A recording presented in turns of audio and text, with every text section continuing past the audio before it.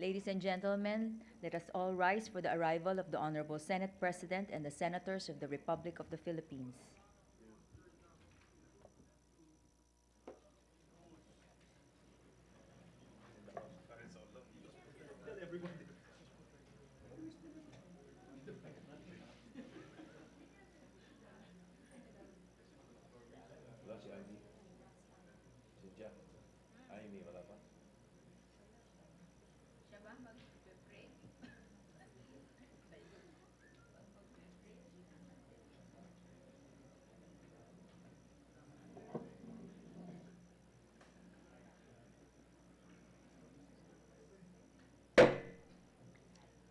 The 36th session of the Senate and the first regular session of the 18th Congress is hereby called to order.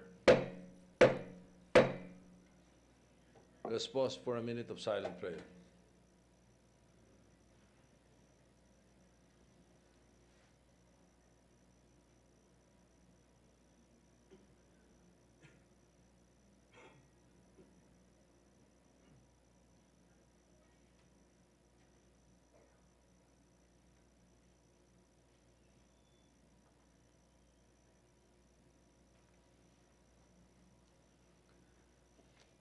Thank you. The secretary will please uh, call the roll.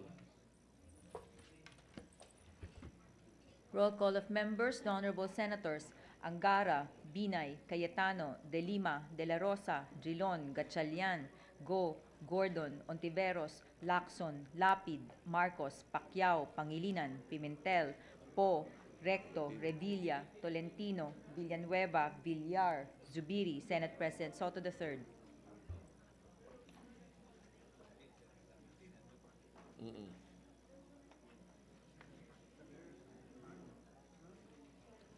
With 18 senators present, the chair declares the presence of a quorum. Majority Thank you, Mr. Leader? President.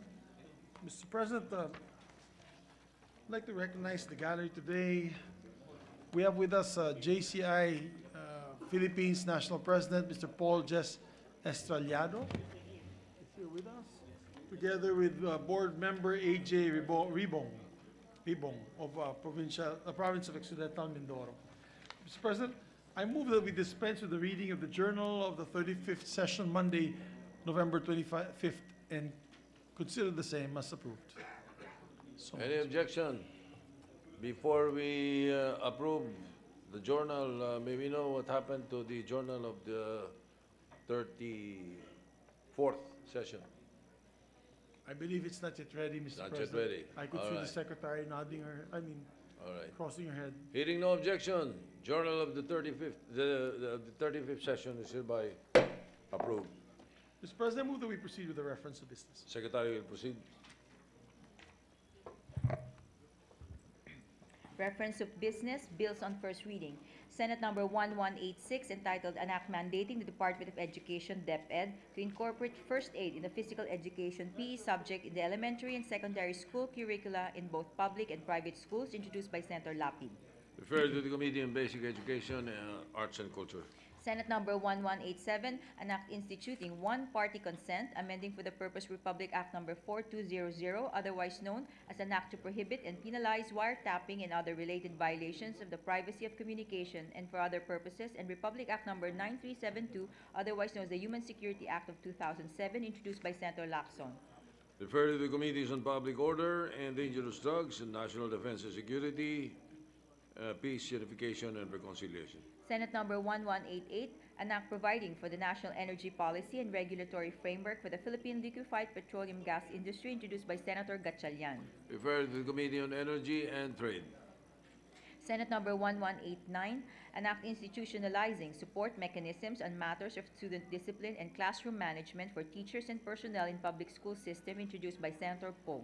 Refer to the Committees on Basic Education and Women. Senate Number 1190, an act regulating class size in all public schools and appropriating funds therefore, introduced by Senator Poe.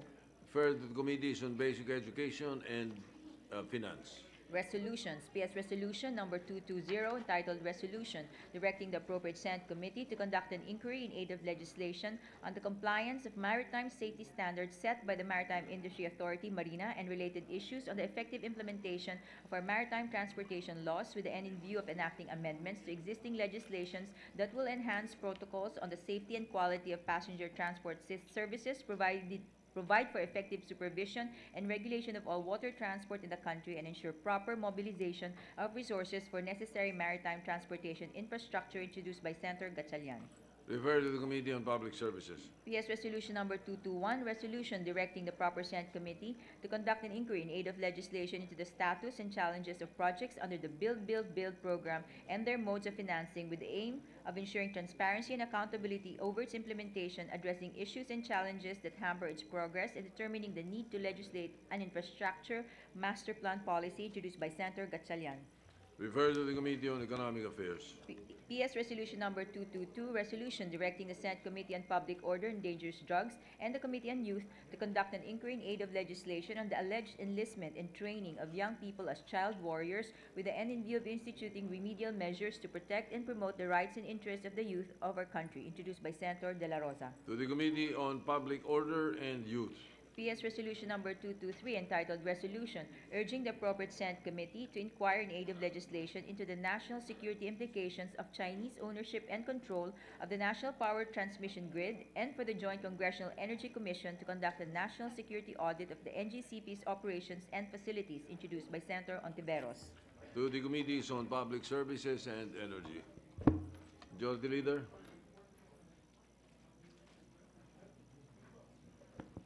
Thank you, Mr. President. Mr. President, I move that we uh, vote on third reading. Senate, House Bill number 5437 under, Ho- House Bill number 5437. I so move, Mr. President. Any objection? Hearing none, consideration of measures in order. For the record, Mr. President, uh, this bill was distributed to members uh, complying with the three-day rule of the Constitution. It was distributed last week, Mr. President. Therefore, um, may we ask the Secretary to read the title of the measure and proceed with the roll call vote? Secretary will read the title of the measure and uh, proceed with the roll call vote. House Bill Number 5437, an act extending the availability of the 2019 appropriations to December 31, 2020, amending for the purpose Section 65 of the General Provisions of the Republic Act Number 11260, the General Appropriations Act of Fiscal Year 2019. Roll call vote, the honorable senators Angara, Binay, Cayetano, De Lima, De La Rosa, Drilon, Gatchalian, Go, Gordon, Ontiveros, Lacson, Lapid, Marcos, Pacquiao, Pangilinan, Pimentel, Po, Recto, Revilla, Tolentino, Villanueva, Villar, Zubiri, Senate President Soto III. With 19 affirmative votes, no negative votes, no abstention, House Bill 5437 is approved on third reading. Majority Leader. Oh yes, Senator Recto is recognized. President Pro Tem. Mr. President, may I be recognized for an explanation of vote? Yes, Senator Recto is Uh. Very brief, Mr. President. This bill is more about giving the government the chance to accelerate actual spending and less about giving more time for them to do it. It is meant to turbocharge spending and not simply extend the period for it to continue with its current sluggish pace. Because if the velocity and volume of disbursement will remain as is during the extended period, then at the end, it will not make much of a difference at all. This is like a basketball game which has gone into overtime, of which the goal of the team behind is to score and not to waste time by simply passing the ball around. And the same is true in overcoming deficits, whether in games or in national expenditures. I framed the challenge this way more on the process of spending than on the period to do it. Because if government is hard pressed in spending this much money within a year, then what gives it the confidence to spend about one and a half years worth of money within the same year? If it cannot spend one GAA within a year, then how much more for 1.5 GAA within the same period? If we're making their plate fuller, what should be done so they will not suffer from budgetary indigestion? It has to make adjustments of the legal kind because a business as usual mode will only yield more of the same results. I emphasize the legal variety of accelerated disbursement because breakneck spending should not be at the expense of breaking laws. In the panic to spend, agencies should not resort to and DBM must not countenance the usual recipes in the almanac of s- s- fake spending, like transferring the procurement to another agency, such as the DBM Procurement Service or the PITC, to foist the illusion that an allotment has been obligated. This kind of pass-a-load type of obligation merely extends the validity of fund and does not give it any value in terms of service provided or goods procured. This violates the taxpayers' trust, taxpayers who have been assured again and again that money taken from them in cash will be returned to them in kind as fast as they had been collected. Mr. President, hindi rin po dapat na basta lang masabi na nagasta ang pera ay gagamitin na lang sa walang mga katuturan na planning, workshop, seminars, meetings sa mga hotel, resort o pribadong mga restaurant. Activities such as these are not excursions to see new sights, but should be activities to learn new things. Let us not be tempted by the low-hanging fruits from the poisonous tree. This can be avoided if use of the carryover funds will be attended by the highest transparency. This would require constant disclosure of fund releases. This will also entail the declaration from the onset of important baseline information such as the amount of available funds. A congressional oversight is likewise needed so that funding duplication will be avoided and to ensure that activities that the DBM might green light for funding are indeed covered by authorized appropriations and not a fruit of their discretionary powers. Mr. President, I vote yes. Thank you. Thank you. Senator Recto, Major, uh, the Minority Leader, Senator Drilon is recognized. Uh, Thank you, uh, Mr. President. We just want to put on record that uh, the uh, bill that we, that the measure that we approve, which is extending the uh, 2019 Appropriations Act, is already a bill and not just a joint resolution. And uh, this is because of the decision in uh, the case of Ang Nar's uh, party list. And so henceforth, uh, we note this uh, procedure adopted by the, by, by, by, by the chamber. And henceforth, we will not be adopting joint resolutions anymore, even if we maintain the view that joint resolutions has the force and effect of law, but we have to recognize the decision of the Supreme Court. Thank you, Mr. President.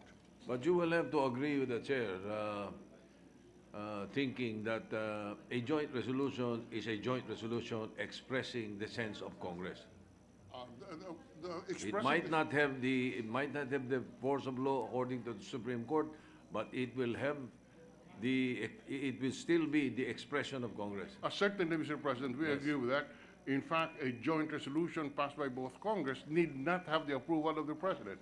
And Yes. uh, that should uh, uh, uh, put on record the strong sense of both chambers of Congress on, um, the, on the matter treated in the joint resolution. Uh, It's just to, uh, uh, here to, here to, well, before, we were adopting uh, joint resolutions concurred in by the President as uh, by way of, say, extending the uh, effectivity of the General Appropriations Act, but this time, we have to pass a bill. That's, uh, Mr. President. Agreed. Thank you, uh, Mr. Minority Leader. Majority Leader?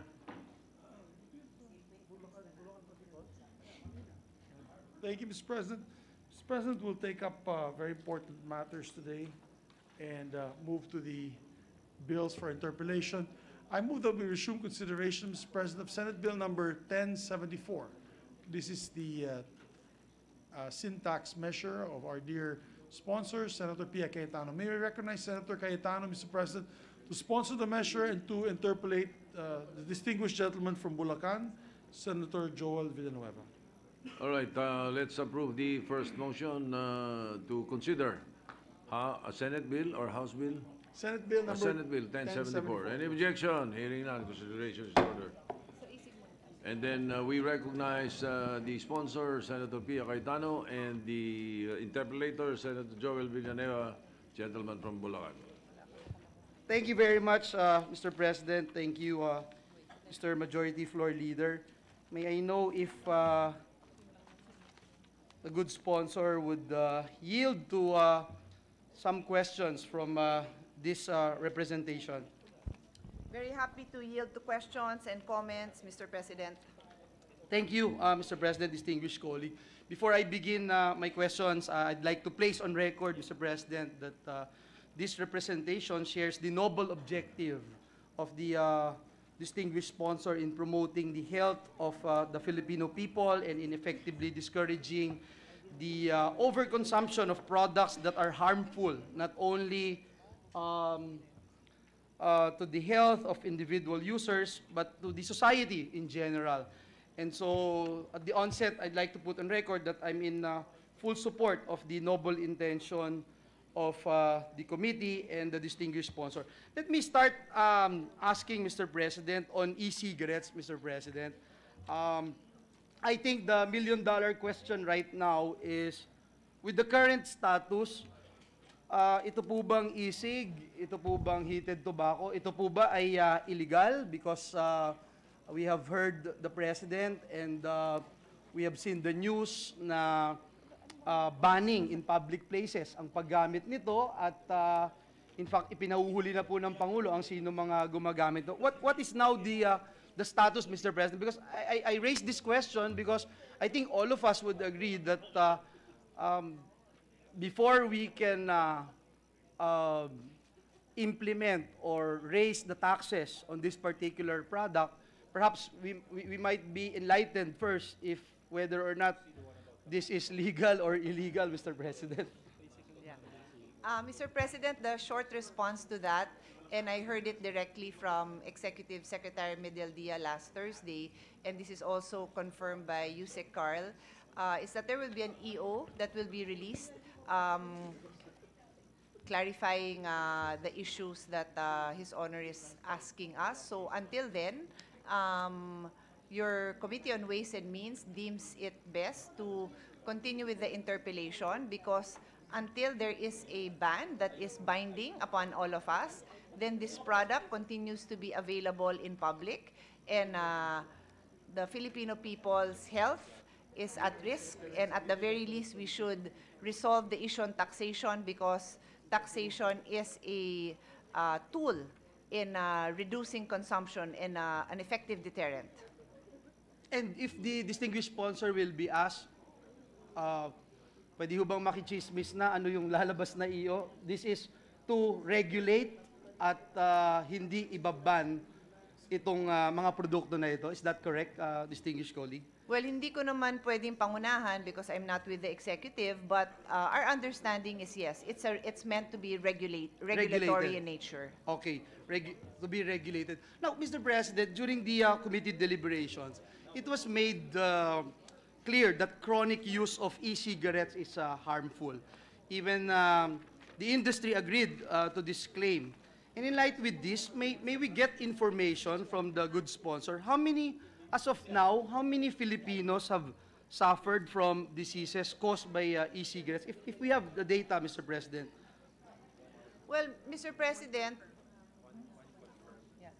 um, before I answer that question directly, let's put on record that this is a new product in the market. And uh, even though it's been around maybe for a few years in other countries, apparently a few years also in our country, uh, it's only recently that the world has become conscious of the uh, possible harmful effects and uh, have then consequently um, medical uh, institution have started documenting this. So even in the US, uh, nagdo-double time po ang uh, um, CDC?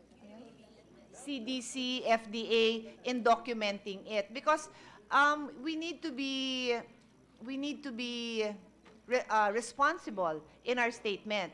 In as much as I'm also a health advocate and uh, I can I can enumerate all the health hazards, uh, the documented case that we actually have in the Philippines is one. But it doesn't mean that there's more than that. That's the only one. Yes. Except that it has come to our attention now that uh, I think uh, if somebody is brought to to an emergency facility and they are um, uh, manifesting certain symptoms, then I think the question is now asked: uh, What are you consuming? And then if they would answer e-cigs, then it becomes parang high alert na sila dyan. Actually, Mr. President, distinguished colleagues, that's my next uh, question. Perhaps if we could also, uh, if you could also provide us some data as to how many e-cigarette uh, induced uh, diseases or perhaps deaths have uh, been recorded over uh, the past years. Uh, if we have uh, this, this, this particular uh, data in the Philippines or, or, or, or perhaps in this region, Mr. President, um, I think there are some countries who have already uh, made their decision to, to ban this, uh, this uh, um, uh, uh, items. For example, I think in, in India, and yesterday, Senator uh, Tolentino showed me a, a, a, um, a um, bunch of research and data coming from World Health Organization and I forgot the, uh, the, the, the, the other hospital, I think from New York, that, that talks about the, the harmful effects of uh, e-cigarettes. Actually, Mr. President, um, Senator Tolentino is really the expert on this because we, we sort of had a division of labor unintentionally where he really is the one who, who compiles all of these uh, recorded uh, um, data on, on deaths, on injuries. So I'm more than happy if he wants to um, join in. He's welcome. But of course, I'm the one, I'm the one uh, on the floor now. So if he doesn't volunteer, um, I will, I will read what I have. But I know he has a lot of data. And, and let me put on record that I was actually for, for, for, for, for reg, uh, uh, strictly regulating this, uh, uh, these units, uh, Mr. President. But yesterday, I almost got tempted to, uh, to vote uh, on, on banning this, uh, these uh, items because of Senator Tolentino.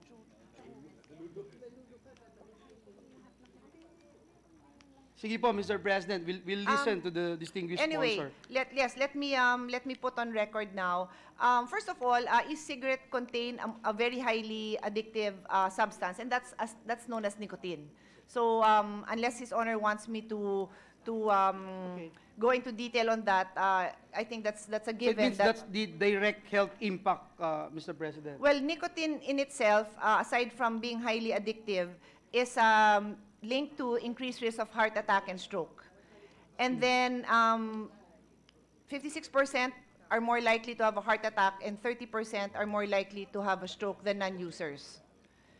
Um, there is also conclusive evidence that in addition to nicotine, most e-cigarettes contain and emit numerous potential toxic substances. This is what I'd like to um, this is what I'd like to elaborate on a little bit.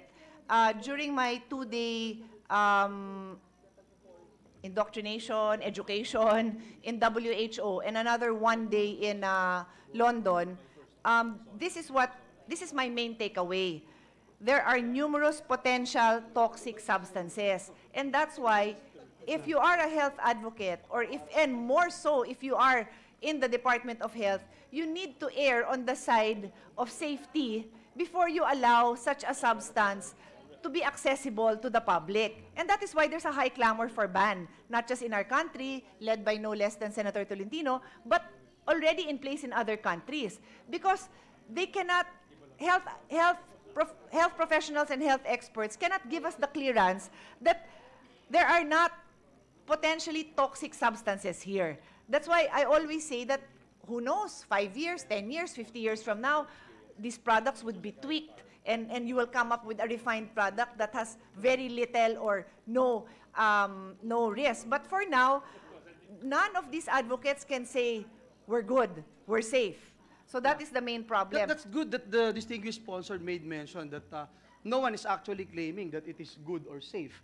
Um, because I, I remember um, encountering uh, an article that says e-cigarette manufacturers claim that their market is the group of current adult smokers. One uh, contentious issue is that it may attract even the uh, young non-smokers to begin the habit.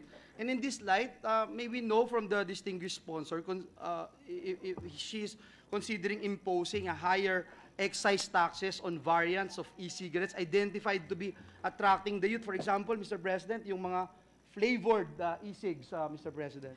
Before I answer that, can I just quickly um, complete the list of uh, health issues related to, to finish my, my uh, response to His Honor's question, just Yes, to put it on please. record.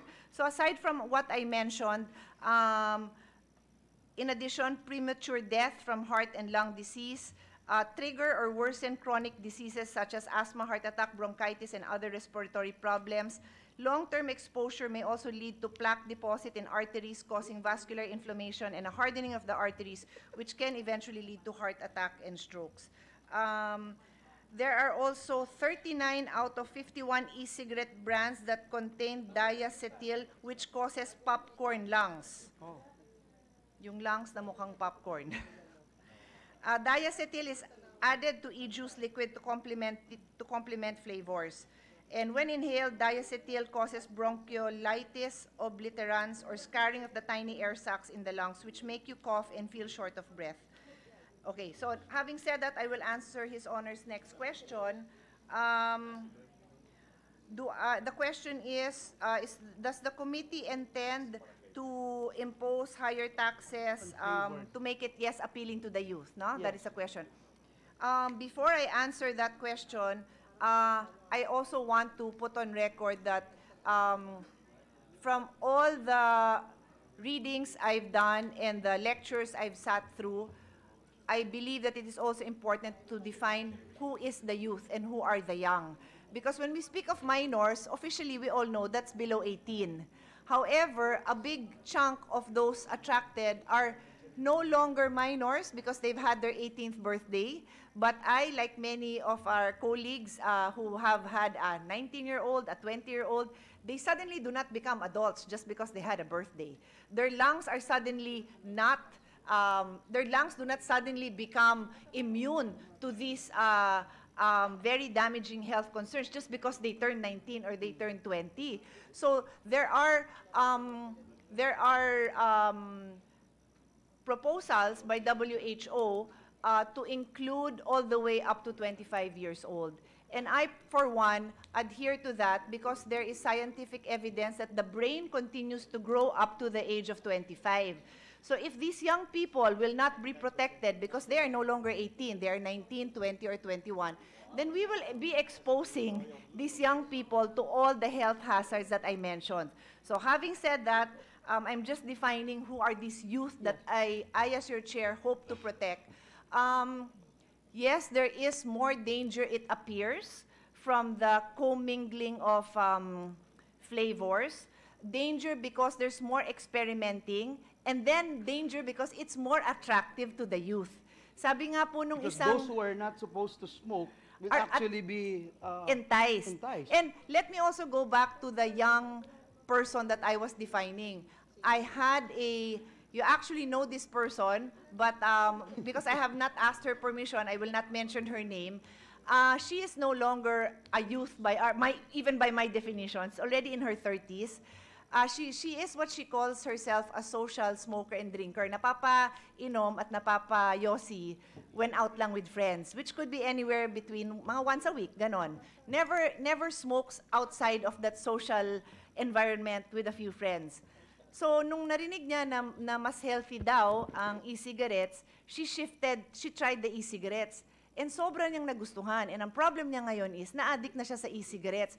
She never used to smoke at home. She never used to smoke in between work. And now, nag e-cigarette daw siya as often as she as often as possible. So nahook siya ngayon dun sa isang sinasabi natin na less harmful.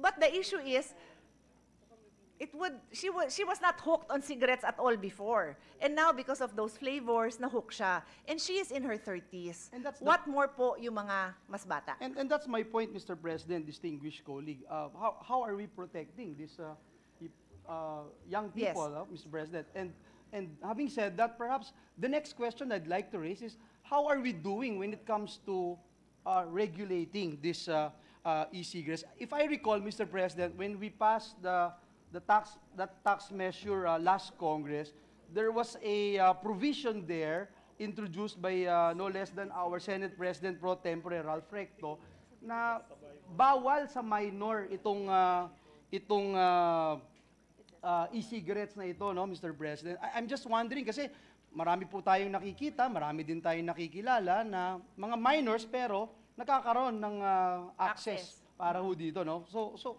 how is how how are we doing when it comes to uh, regulating uh, e-cigarettes, Mr. Yes. President? So, um, so the question there is, do you ban or do you regulate uh, flavors?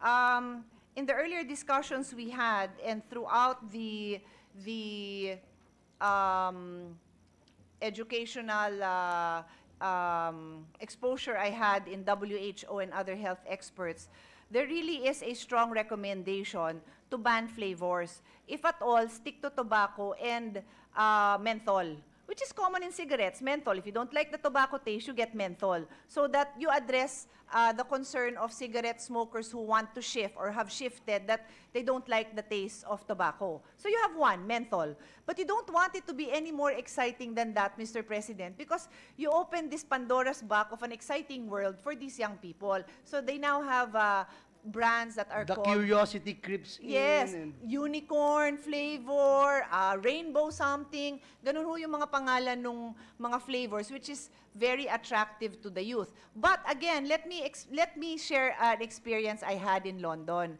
Um, in this session where no less than the advocates for e-cigarette smoking in London were presenting to us. Okay, so sila po yung nagsasabing um, maganda tong e-cigarettes kasi nakakatulong ito para mag-shift na ang mga smokers to e-cigarettes. Sila yung nagpe-present ha. One of the persons they brought along was the head of, uh, para siyang association of uh, e-cigarette users. So that's just his advocacy to explain how he has shifted. Uh, he has nothing to do with the industry. He is just a passionate, uh, passionate about sharing his shift. So he's probably in his 40s. In-explain niya, nag-eksperimento daw, at first daw, duda siya, pero nung natry niya, parang okay. So he shifted to, I think, tobacco flavor e-cigarettes. But over time, because there were so many interesting flavors in the market, like uh, cheesecake, vanilla, custard, strawberry custard, he started playing around with those flavors. And now he loves those flavors. He was very candidly telling us this thing. So, for me, sige, ah, as, hindi, hindi naman ho ako smoker, and of course, may karapatan siya to do what he wants. He's an adult. But that is the danger. This becomes now very exciting product promoted to the extent that um, it's, it's such an exciting world to live in. So it's so attractive to the youth and now even for the adults. For me, ang take ko po doon is instead of just shifting away from cigarette, they're now, sabi niya sa amin, at any given time, he has all these flavors in his car, iba yung flavor. And um, it is not proven to be healthier for you or healthy for you. So for me, hindi nakakatulong. Naka, mas madalas na ho siyang mag-vape dahil nga lahat ng flavor hinahanap niya eh. That, that's why, Mr. President, distinguished colleague, I would uh, support any move to to Yun, ban or highly regulate.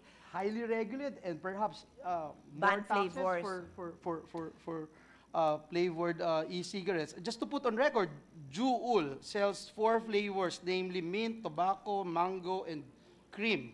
While there are countless e-juice flavors available in the market, such as peppermint, coffee, candy, lemonade, etc. I mean, what's what's the uh, what's our uh, um, uh, what would be what would would would would prevent for example a a a, a someone who would put in uh, addicting uh, paano ba yung tawag doon? Ah, ah, alam yun. substance or A flavor, substance yeah. or flavor, marijuana, etc. Kung ano man, no?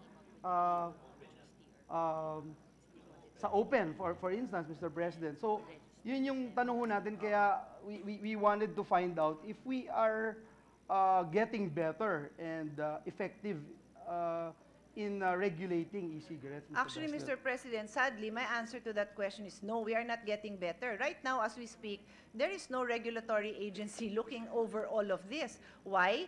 Because members of the industry filed a TRO uh, against W uh, against FDA and uh, DOH to regulate. I understand that they had certain concerns about the uh, the regulatory um, arm, no? But at the end of the day, that's what that's, that's, that is the result. And during my hearings and consultations that we had, our office has been very open to hear and listen to all the concerns of everyone. Uh, they, one of their strong positions is that they should not be required to get a license to operate, and they should also not be required to have the certificate of product registration of the FDA, comparing themselves to cigarettes.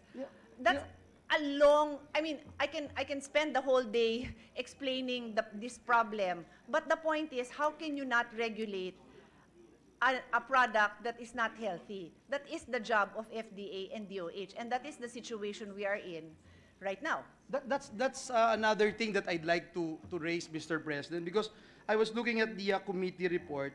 Um, I'd like to ask the distinguished sponsor, why should the Food and Drug Administration alone regulate e-cigarettes when an interagency called the Interagency Committee Tobacco, or IACT, regulates traditional or regular cigarette products.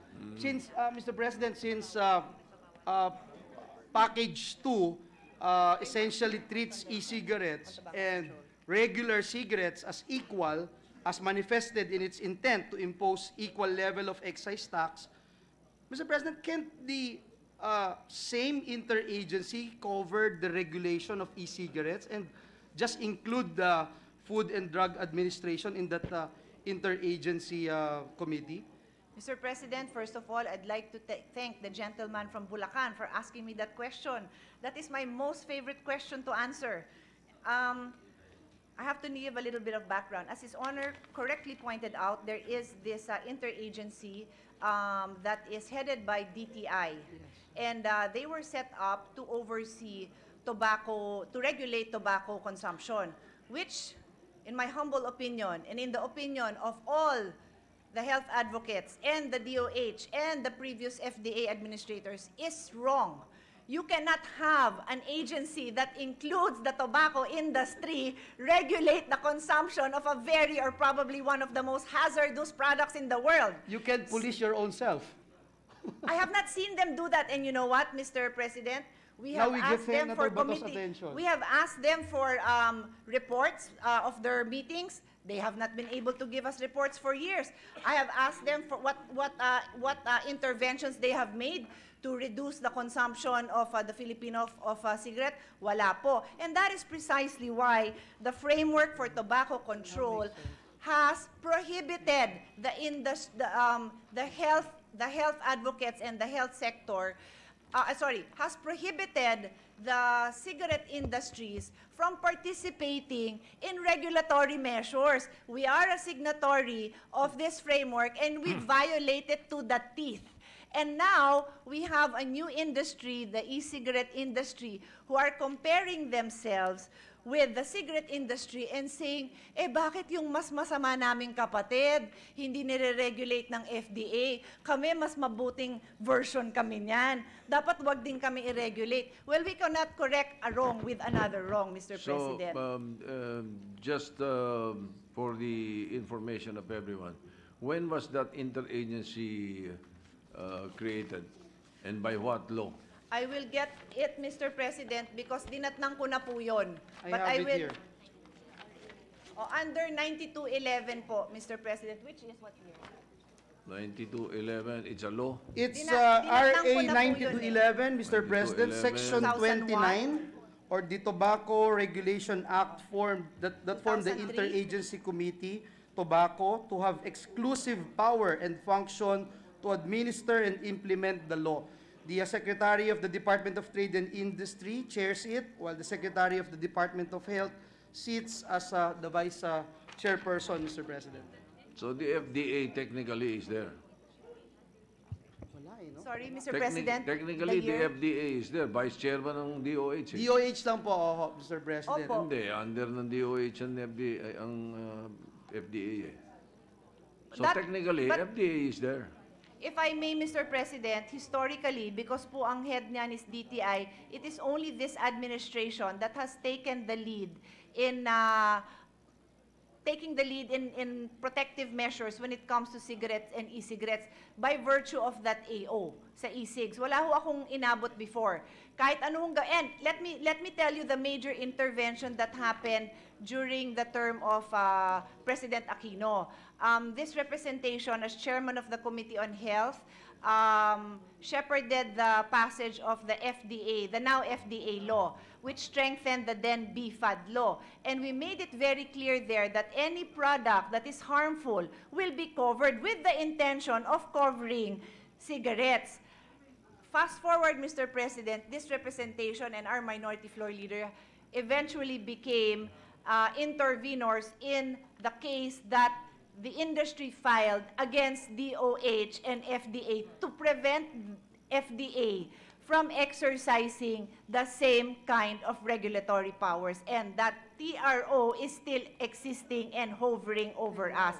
So to put into context, kasi ho, dun sa ating um, ah, caucus na, na pag-usapan natin na ano ho ba yung intention talaga ni Presidente, yung context po nung pagsabi niyang magbaban, kasama dun din yung kanyang disgust at kabwisitan dahil lagi ho tayong nati-TRO. Twice na na-TRO ang FDA for this reason, for the same similar products. One was for cigarettes and one was for the e-cigarettes.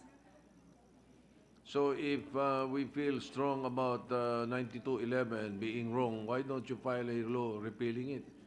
Actually, Mr. President, uh, when I mentioned yesterday that I have a bill, it will be very clear in that bill. I have two bills actually that I just need to finalize. One is to regulate e-cigs, as we discussed yesterday, and the other one is amendments to 9211, so that these two products, both cigarettes and e-cigarettes, will finally be buried under the agency where they belong.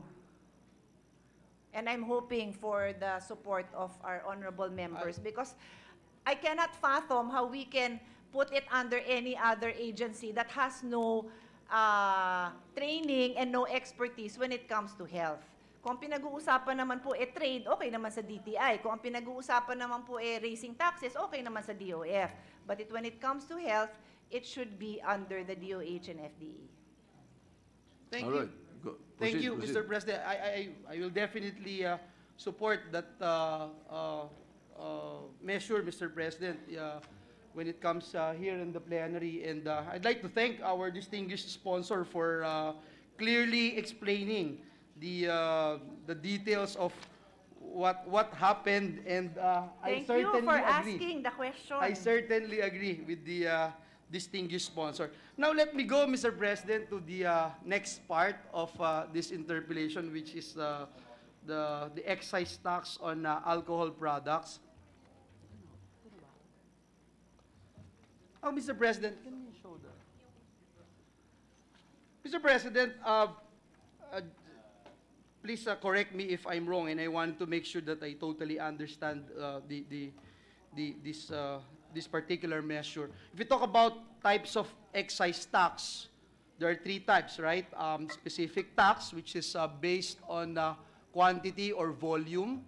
At pag may specific tax, may unitary and dual. Um, second is ad valorem, which is based on value. And third is mixed.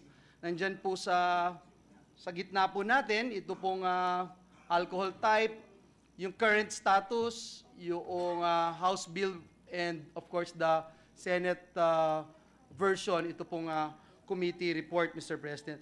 Now, we impose mixed type of ah, excise tax on distilled ah, products. Um, they face both uh, specific tax and ad valorem tax. Can the good sponsor uh, uh, explain uh, bakit po ganito yung ating uh, ating uh, pinopropose? Uh, just to clarify, the, di- the difference between the, the categories, is that the question? Why some have specific and, uh, I, I, I already act- actually, Mr. President, I already understand what's the difference between specific tax, ad Oh, valorem, and why? mixed. The why? It's just that my question now is that why are we um, implementing or uh, suggesting in this uh, uh, Senate Bill 1074 a mixed uh, type of uh, of taxing itong uh, distilled spirits, Mr. President? yes. Okay, first of all, Mr. President, um, in the current uh, law, under the current law, the practice is the same. We Yes. have, we have an ad valorem tax and a specific tax. And the reason why we are continuing it is because it, it works in terms of Yes. in terms of reaching our objectives. When we have an ad valorem tax, that is based on the price.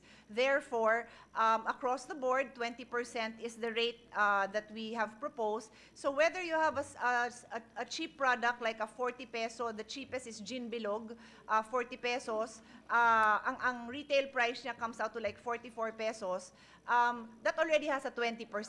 Kung yung product mo naman is ma- mamahalin na whiskey, uh, two, let's say 1,000 pesos, 20% din, so 1,200. So, um, they both get taxed because, uh, based on their price, okay? Oo, malaki po yung price range. Am I correct, Mr. Yes, President? yes. Uh, And that's why yung products yun. falling under this category, malaki yung price. So, yan ang best way to to do it. Uh, gawin nating mix, specific tax and uh, ad valorem. Now, in No, line with... sorry, let me, let me just clarify that. The percentage takes care of the price difference. Yun yung ad Yes. valorem. The specific tax is there because we want to address the alcohol content. So those with those with higher alcohol content technically would end up be, being taxed more. And that is where the health deterrent component comes in. Kung mataas yung alcohol content nun, medyo nagmamahal yung produkto. Kasi nga, part of our job is to make it prohibitive. Medyo masakit sa bulsa. Totoo ho yun. Yun yung, yun yung objective natin. And that is done in all other countries in the world that want to use taxation as a deterrent. I, I agree, uh, Mr. President. Now, can, can, can we go now to fermented uh, liquor? Yes. It's specific and uh, dual.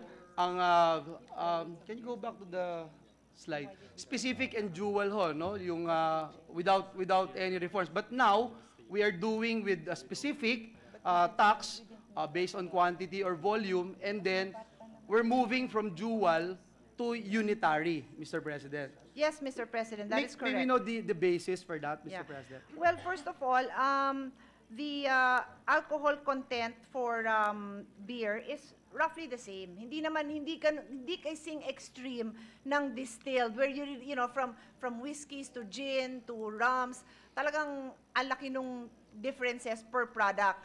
And uh, we need to to address this per proof liter. When it comes to beer, they're more or less the same. So there was no need to do this. It's also for simplicity. Agree. And if the concern would be price differentials between, um, I mean, the pricing between imported and local, we have to remember that there is still VAT and customs duties.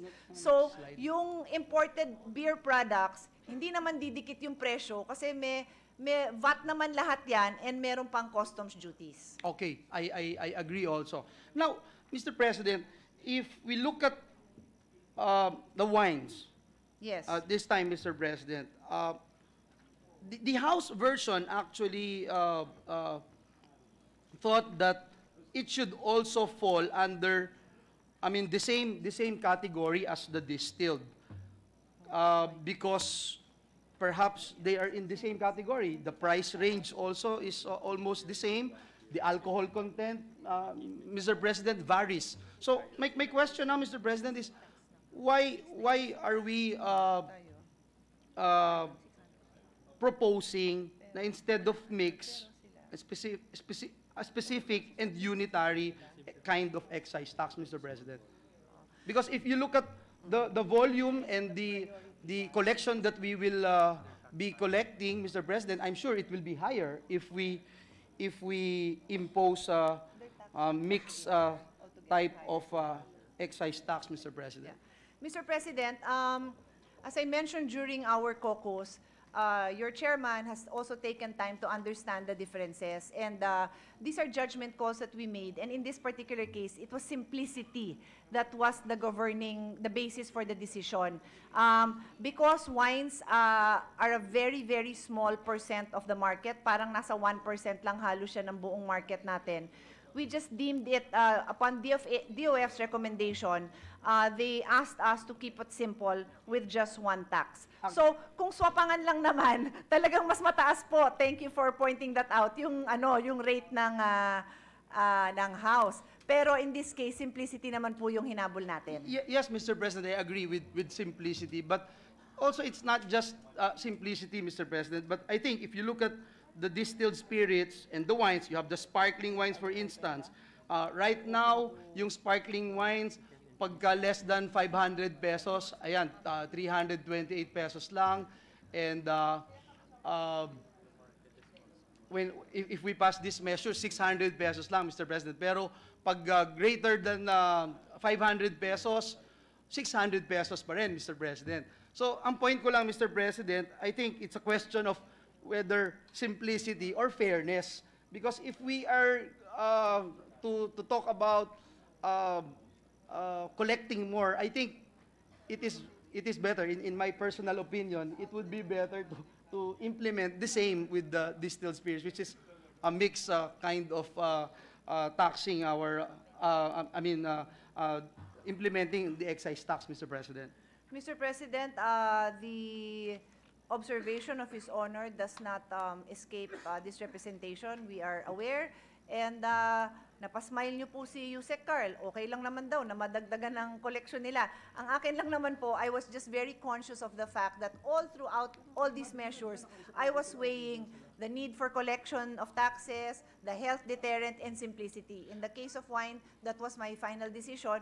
But that is the one area that I am more, I am even more open. In, in as much as I said, I'm open to all the suggestions. That's- that's- Very open po tayo that's good dyan. enough for me Mr. President Oo. that the sponsor is open to that idea Lagi naman pong open. Because, because, Mr. President, we also got the chance to talk to our friends from DOF, Mm-hmm. and they were saying that they, they can actually, uh, uh, uh, they're actually agreeable to that No uh, problem, Mr. idea, President. Mr. President. Wala, hindi naman ho nakatatak yung signature ko sa bawat numero dyan. But Lahat perhaps, Mr. President, so that uh, uh, our colleagues will not get me wrong, I'm just talking about consistency, and I'm just talking about uh, not just simplicity, but also fairness, Mr. President. Uh, Mr. President, um, let me let me also ask about uh, about our objective, Mr. President, in uh, promoting a tax structure that better responds to the health objectives of the bill.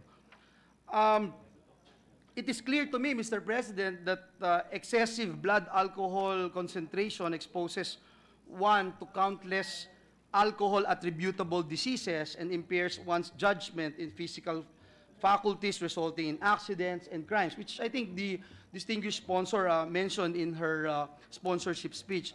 Hence, uh, we hope to be enlightened, Mr. President, whether the tax structure and rates that the uh, committee report adopts effectively targets uh, this risk. So let me ask, Mr. President, uh, distinguished colleague, among the different alcoholic drinks, uh, for example, uh, distilled spirits, fermented liquors, and wines, may we know which type of product accounts for the largest share of consumption in terms of pure alcohol? Sorry, can you just repeat that last question? What? Among the different alcoholic uh, drinks, uh, Mr. President, Yes, yes. which type of product, um, Consumption. uh, yes, uh, in terms of uh, pure alcohol, Mr. President, distilled spirits, fermented liquors, and uh, liquors and wines. No, if His Honor is, if the question is which product is consumed, what product is consumed Product at the Mr. highest President. amount of alcohol, that would definitely be distilled. Distilled. But if you're asking the overall consumption of the Filipino people, that would be beer. But the, but the per bottle uh, percentage of alcohol in beer is lower than Okay. distilled. Yeah, uh, that's correct, Mr. President, and I agree that the uh, when it in, in terms of consumption in uh, pure alcohol, it's the distilled. Uh, am I correct, Mr. President?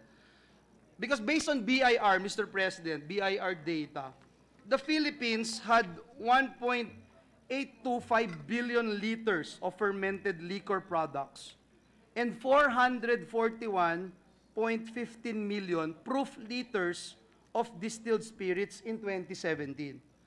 Uh, it is interesting to note, Mr. President, uh, that considering beers usually have 5% alcohol content, while distilled spirits contain approximately 40% alcohol, uh, gaya po nung binanggit ng ating distinguished uh, sponsor uh, yesterday, doon po sa lounge, yung one shot of uh, distilled spirits is already equivalent to, I think, one bottle of beer, if I'm not mistaken. Uh, thus, while fermented liquors comprise the largest volume among all alcoholic beverages, they in fact account for a smaller share in terms of pure alcohol intake of an average Filipino drinker. Another data that I'd like to share, and uh, just to spread on the record, Mr. President, the Global Status Report on Alcohol and Health by the World Health Organization confirms this.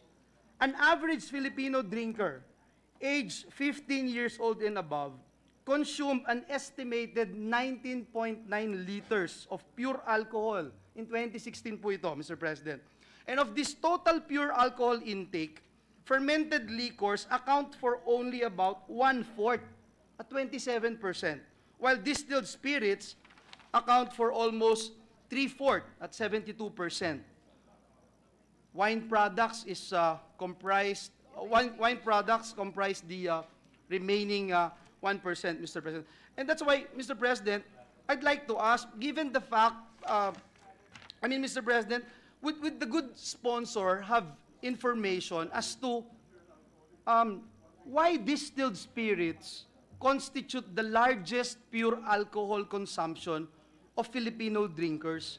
And why is it the case na yung mga studies na nababasa po natin for the Philippines when it is not the case uh, for most ASEAN countries. Uh, parang naguguluhan po ako dito sa data na ito and I just want to be clarified, Mr. President. Well, Mr. President, let me remind our colleagues, when I delivered my sponsorship speech, sabi ko nga, sad to say, proud ako na meron tayong Manny Pacquiao na champion. Pero champion din tayo sa inuman. we top we top the world record when it comes to alcohol consumption. And that is because the price of our alcohol is cheaper in this country.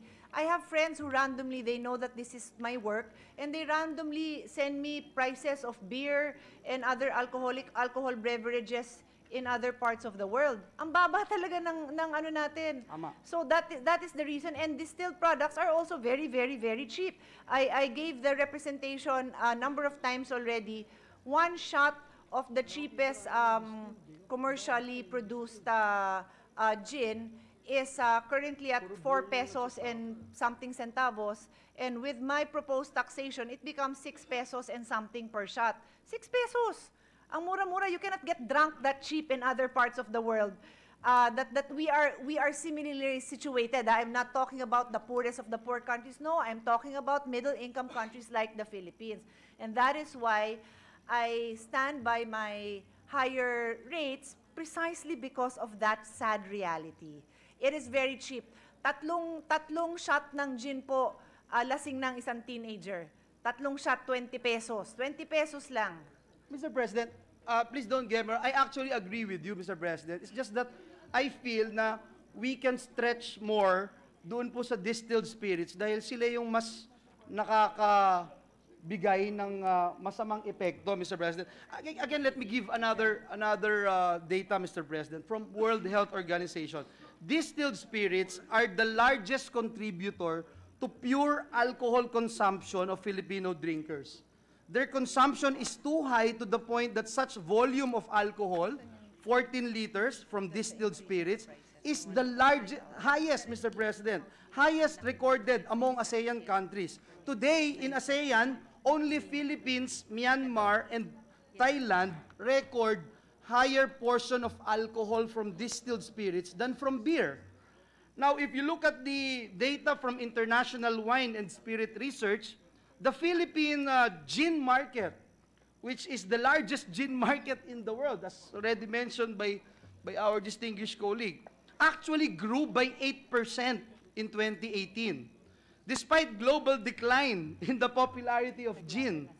Now, the same report predicts that the Philippines alcohol market will continue to grow up to 2023 from constituting, this is uh, concern, uh, uh, a concern, Mr. President, from constituting 1.1% of the global consumption in 2018, it is predicted to constitute 1.4% of global consumption in 2023. Again, my question, Mr. President, meron ba tayong explanation bakit po ganito and perhaps is it culture? Is it because of accessibility, Mr. President? Um, Mr. President, His Honor is correct. Um, culture, accessibility, habits, uh, they all contribute to, to uh, this uh, culture and habit of drinking. That's exactly what it is, Mr. President. Um, sabi nga nila, you know, uh, I'll, I'll give, I'll, I'll go back to e-cigarettes and smoking as my example, no? Uh, when I was in London, precisely to study the uh, what what the effects of e-cigarettes would be, it was pointed out to us that the reason why um, England has taken a more uh, permissive approach to e-cigarettes, it's still highly regulated, pero parang parang medyo pinupush talaga nila as a substi as a switch, no, for cigarettes, is because um, cigarette has no is no longer attractive to the youth. That is because pag nag, naglalakad ang youth, naglalakad going to school, in school, um, they have a lot of health um, promotions and um, the whole country has bought into selling cigarettes as not a cool thing. So when a young person, a child, looks at an older person smoking, hindi siya naiinggit, hindi siya aspirational, nakakadiri siya. That's why hindi sila masyadong takot na mag-shift ang bata sa e-cigarettes. That is not the case in the Philippines because we do not have those protective measures in place to prevent the youth from smoking. So I'm just using that as a parallel example to drinking. Pag naglakad ang bata sa kanyang barangay, ano yung nakikita niya sa kanto-kanto? Inuman. Common yun. Oy, tawagin mo na tatay mo. Umuwi na siya. Tapos we have statistics that show there's a lot, there's an increase in domestic violence after drinking. So it is part of the culture and it is something that cannot be solved by tax alone naman po talaga. Uh, we need to um, really have this intervention on the social side.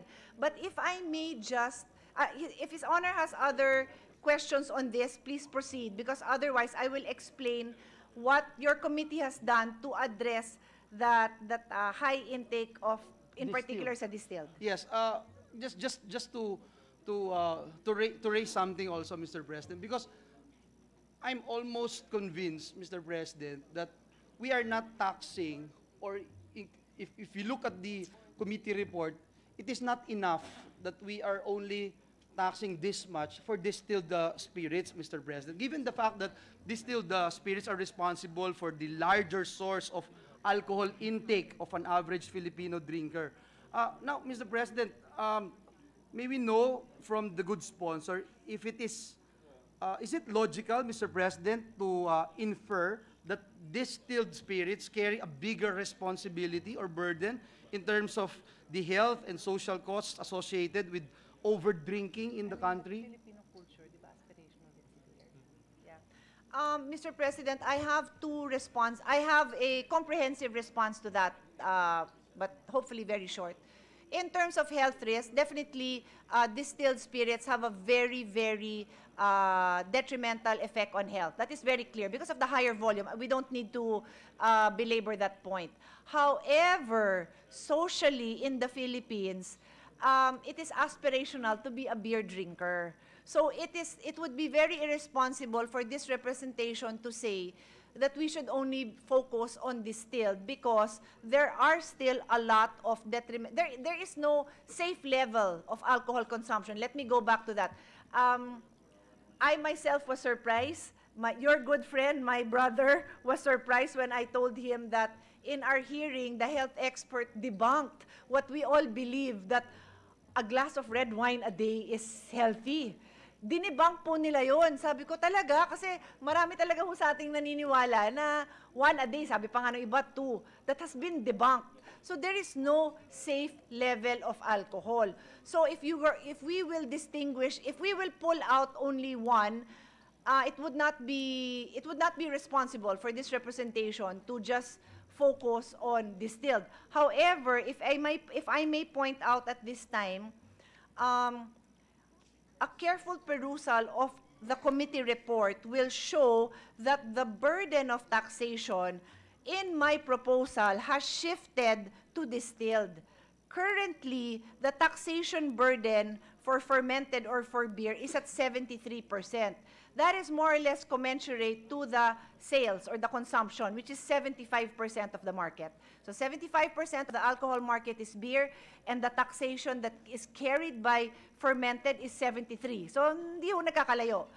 Under the proposal of this representation, the tax burden of fermented goes down to 67%, and distilled goes up to 20, to 31% from 24. So we have already made those the intervention that His Honor was uh, mentioning in terms of uh, increasing bo- both to be sure all categories were increased for the record but for distilled medyo bumigat pa nga ho doon and in fact I will be candid and put on record that um, industry from all sides have, have expressed their concern for those rates but um, uh, this representation doesn't uh, claim to be perfect in, in uh, her analysis, pero it did undergo uh, lengthy studies to come up with this, um, these rates wherein we tax the different categories in the best way we feel uh, would uh, address the health issues and uh,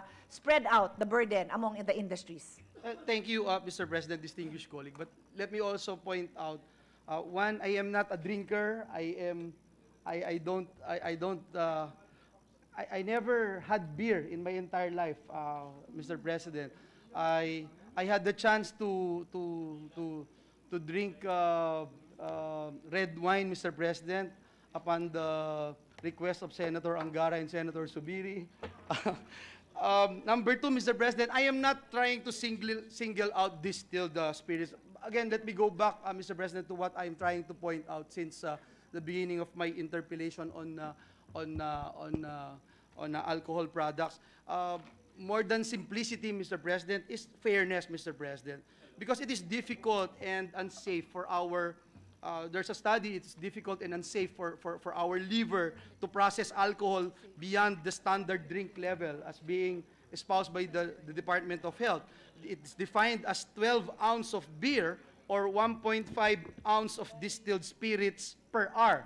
I don't know if this is applicable to some of our colleagues, but this is the uh, standard drink level. The proportion just shows the huge alcohol concentration in distilled spirits, Mr. President, and how relatively easy breaching the standard drink level uh, is when consuming this product. And that's why uh, my question to the good sponsor, uh, if she believes that the, the, the, the, the product responsible for almost three-fourths three-fourths of alcohol consumption should be held equally responsible for all the social costs of uh, drinking as compared to the product that accounts for only one-fourth of alcohol intake. That's, that's, that's all I wanted to point out, Mr. President. Um, Mr. President, my response to that has to be a little bit more comprehensive because although the although I am one with His Honor in in acknowledging a basic fact that the alcohol content of distilled products is higher and therefore it is unhealthy. Period. We have no debate there. However, the reality is we have more beer drinkers in the country. We have a lot of beer drinkers and in terms of numbers, tama ba?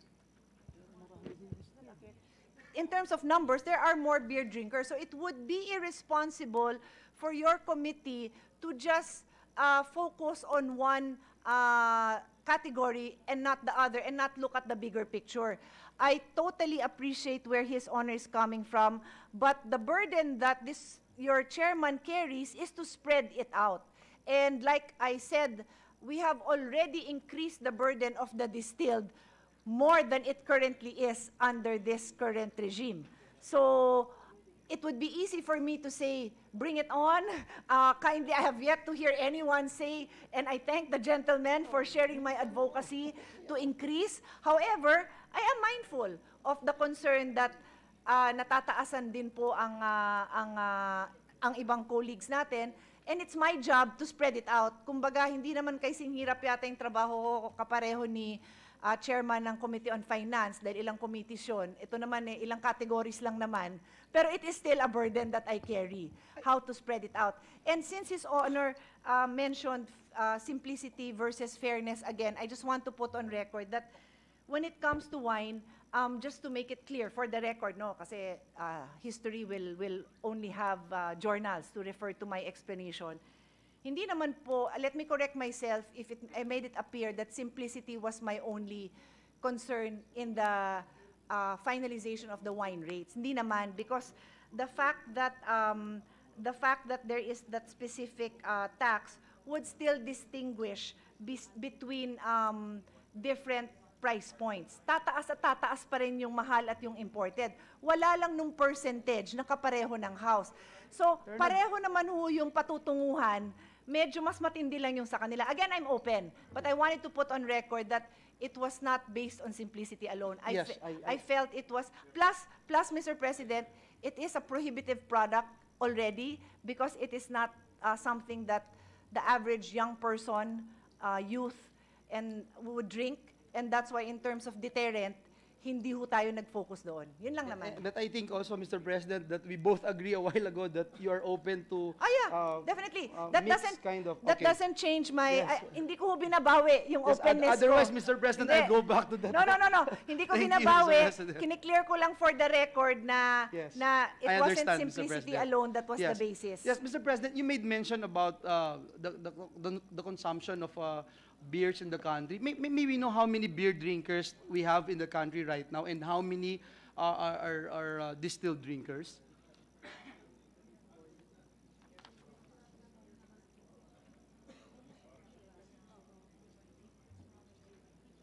Would, would the um, DOF is checking the figures for me. Would His Honor like to proceed to another Yeah, question sure. while Uh, we're waiting for the figures? Ju- Just to uh, uh, emphasize, Mr. President, what we are, are trying to uh, drive at, because distilled spirits still, record will show, the largest contributor to pure alcohol consumption of Filipinos. Their consumption is too high to the point that such volume of alcohol, 14 liters, from distilled spirits is the highest recorded among ASEAN countries. Um, today, Mr. President, only Philippines, Myanmar, and Thailand record higher portion of alcohol from distilled spirits um, than from beer. And coincidentally, they also consume more total alcohol too.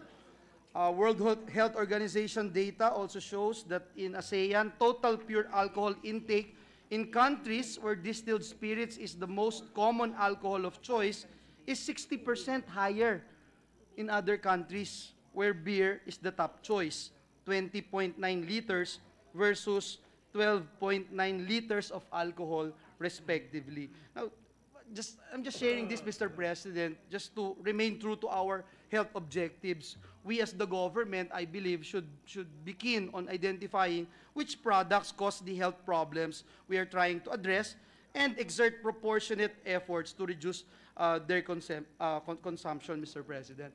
Now, Mr. President, at, at present, if, if we still don't have the data, Actually, can, can Mr. I... President, can let I- me put on record the Okay. data I have.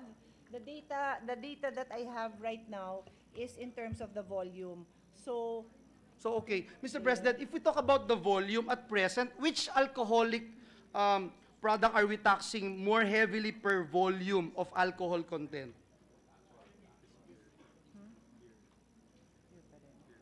it's still, it's still beer, Mr. President. It's still And that is beer. precisely the reason for the recommendation of this committee to shift some of that burden to distill because this representation recognizes the same, uh, has the same concern and uh, observation that His Honor has. Uh, yun, yun nga ho, Mr. President. eh.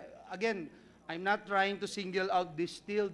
Pareho ko Actually- silang gustong i-tax, Mr. President. Oo. Please don't get me wrong. It's just that I think uh, it is important na ma- nakita natin itong, uh, ma-discuss po natin. I'm glad that distinguished uh, sponsor is open to this uh, idea because may, may, may, may, may I know, Mr. President, if uh, the distinguished sponsor would also have any information on the tax per alcohol content prior to the passage. And again, I, I'm not alluding to the sponsor as to why this happened in, uh, in, in passing of a sin tax law in 2013.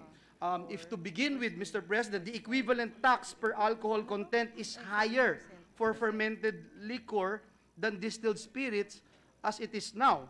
So, uh, does the good uh, sponsor have information as to why our alcohol excise tax structure has been designed uh, uh, this way? Because are we taxing distilled uh, spirits lower than beers because the health and social cost associated with it is lower? Uh, Mr. President, obviously, uh, dinatnan ko itong bill na, na itong current na batas natin, no? And uh, I, I was very supportive during the deliberations in uh, 2012 because at that point, uh, it had been very long time before since uh, the, there was any increase whatsoever. So I, I believe, if I, if I recall correctly, the attitude of even the health advocates was they were happy that there was an increase in taxation. So what your what your chairman of the committee has done is, like I said, increased further the share of the distilled products. Is it enough? No. In fact, uh, I, I need to put on record my jubilation that I have somebody interpolating me that shares my concern that our tax rates are very low. And just like you, hindi ko naman po intensyon na, na manira ng industriya, na mawalan ng trabaho yung mga nagtatrabaho. Hindi po yun. Pero trabaho ko to look at the bigger picture and to ensure that while we allow unhealthy products to be available in the market, we are doing the proper interventions Thank- thank- to thank- make it less accessible to the most vulnerable and to also just make it not a very easily accessible commodity like it is in other countries. It it saddens me that in our journey towards becoming an upper middle class economy, things like taxation of sin products are being treated um, in not in the same manner. In other words, if you go to other middle income countries and upper middle income countries, standard yan. They make these products inaccessible to the youth. They're expensive. Cigarettes, uh, alcoholic products sa atin, hindi po tayo doon. So, yun, the burden that, I, I will just have to repeat that the burden that your chair carries is how to distribute this, um, this burden. Kasi hindi naman po talaga pwedeng one industry lang ang matax. Well, thank you very much, Mr. President, and I admire and uh, have very high regard to our distinguished sponsor, especially for understanding where this representation is uh, uh, coming from. And uh, I just would like to again reiterate, uh, given that health is at the core of the objective of this legislation to minimize illness, minimize deaths, accidents, and uh, uh, violent acts associated with alcohol consumption, perhaps it is uh, important for, for us in, in the chamber to discuss and uh, uh, uh, talk about these issues on the intent behind the disparity in excise taxes levied uh, per volume of alcohol across the different products, Mr. President. So my, my, my next question perhaps, Mr. President, is how, how, how will this uh, Mr. SB 10... President, I'm sorry, if, if His Honor would allow, can I just add a response before you move Sure, into another please, point? please. Um, I, I was just asking uh, DOF through USEC, Karl, um, what is the practice in other countries in terms of uh, the tax burden or in terms of uh, the, the numbers that His Honor is showing? And there is very strong finding that um, the trend now because uh, uh, the health advocates and the awareness and the the institutions that um, are handling uh, tobacco and alcohol control in other countries are very strong and have seen a lot of positive outcome. It is now not as um, acceptable to drink and get drunk. So the tendency now is to drink for to drink socially. And that tends to happen with either expensive distilled products or fermented products like beer. And that's why hindi po mabitawan basta-basta ang taxation ng beer because for the youth, it is aspirational, it is cool to be holding a bottle of beer. And that's why hindi ho natin yan pwedeng sabihin na focus lang tayo sa distilled because of the fact that His Honor has mentioned. Fact naman po talaga yon yung, yung uh, high, high volume, pero meron ding social component kung bakit kailangan binabantayan din natin ang presyo ng beer. Thank you. Thank you very much, Mr. President. Before I, I leave this, uh, this uh, particular issue, as we have pointed out uh, earlier, Mr. President, distilled spirits contribute the uh, lion's share of alcohol consumption. Yet, uh, we collect uh, more revenues from uh, fermented liquor products. This means that uh, for the funds the government was able to generate the past years, producers of distilled spirits shared a lower contribution to the universal health care. Um, it's, it's very hard, Mr. President, to uh, reconcile uh, this uh, seeming irony, Mr. President. Uh, may, may we know from the distinguished sponsor how will the uh, proposed uh, bill uh, change this, tax burden? What will uh, perhaps Yes. be the share of fermented products compared to the distilled spirits um, after this uh, proposal uh, takes effect? Yes, Mr. President, I mentioned it earlier, but uh, for, uh, to repeat the, the figures, uh, currently, the share of fermented products currently is 73%, and the share uh, of uh, distilled products is 24.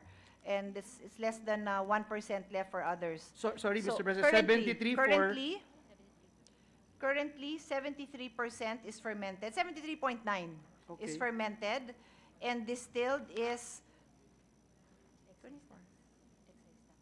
20 25.2, 25.2. okay? That is current. Under, under the committee report, Mr. President, the excise tax share for fermented goes down to 67.9, so that's a reduction of about 6%. Yeah, And uh, the share of distilled goes be up 31. to 31.2%. That's correct. Yes. Uh, So- my, my, my, my figures are correct. And, and for wine and others would be 0.9. Yes, barely 1%, Mr. President. It And- would reach 1% if we uh, Yes, uh, sure. agree with the mixed uh, No excise problem, tax, Mr. President. President. Um, But also, just to put on record, um, again, no disagreement with the uh, concerns and conclusions that His Honor has reached. But um, in terms of uh, comparative prices of popular beers across ASEAN, um, the Philippines is third to the lowest. Uh, only Vietnam and Cambodia are lower than the Philippines in ASEAN. And with what has been criticized as my very high rates, Mr. President, we are still third. We never even improved. We never even, uh, uh, the, the next, Lao, Mr. President, Lao, even, sorry to put it this way, but cares about the liver of their, their citizens more than we do, if, if, I, if I can put it that way, because the figures of Lao are still higher than ours, even with the increase of rates that uh, the committee has uh, proposed. Yeah, just just, just to uh, correct my, my, my staff here, uh, baligtad po yung uh, fermented and distilled, as already mentioned by uh, our uh, good sponsor. Well, Mr. President, distinguished colleague, uh, uh, I, I just ra- I just raised these questions, uh, set of questions in this uh, particular uh, issue to help uh, our our committee, this chamber, shape an alcohol excise tax structure that is uh, uh, more pro-health and one that will uh, fairly impose a higher tax burden to the product that is more responsible to the health concerns we are uh, trying to address and will likewise discourage uh, its consumption. Now let me go, Mr. President, to uh, another issue, Mr. President, on uh, um, uh, taking that objective, uh, another objective of this uh, committee, as uh, earlier mentioned, on uh, direct health targets of the bill. Mr. President, um, let me uh, ask uh, questions that relates to the specific health targets of the bill. As we have been doing uh, for the past years, whenever a new um, tax measure is uh, being deliberated upon, we always ask about the specific measures of performance against uh, uh, which we will uh, later on assess the effectiveness of uh, the bill. This is similar, Mr. President, to what we have been doing here in the Senate, where we assess budget in terms of budget utilization and uh, um, its physical uh, performance. For instance, uh, Mr. President, during, I remember during the deliberation on the uh, tax reform for acceleration and inclusion, uh, train package one, the Department of Finance generated targets in relation to revenue, inflation, poverty alleviation, and spending. Now, similarly, during the uh, deliberations on the uh, sin tax law of uh, 2013, the Department of Health also provided, provided us um, information on the potential benefits of the law, on the reduction in uh, smoking uh, prevalence, uh, especially of our young people. reduction in number of cigarettes consumed, reduction in tobacco-related expenditures, and reduction in economic burden of tobacco-related diseases, uh, to name a few. Mr. President, distinguished colleague, what is the estimated uh, um, price elasticity or uh, price sensitivity of demand for alcoholic uh, beverages?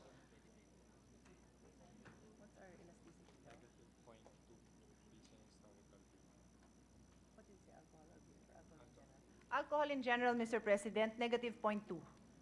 Negative 0.2. Uh, Mr. President, using this elasticity, by how much will the volume of alcohol consumed by uh, Filipinos decline in 2020 under uh, uh, SB uh, 1074? Uh, similarly, Mr. President, by how much is the prevalence of alcohol drinkers expected to decline?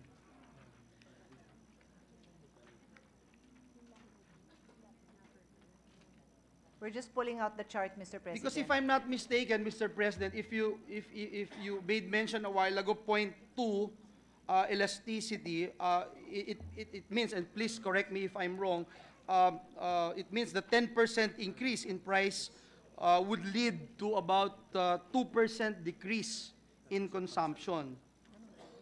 I I I, I, I think it's a, a fair uh, estimate. Is that correct, Mr. President?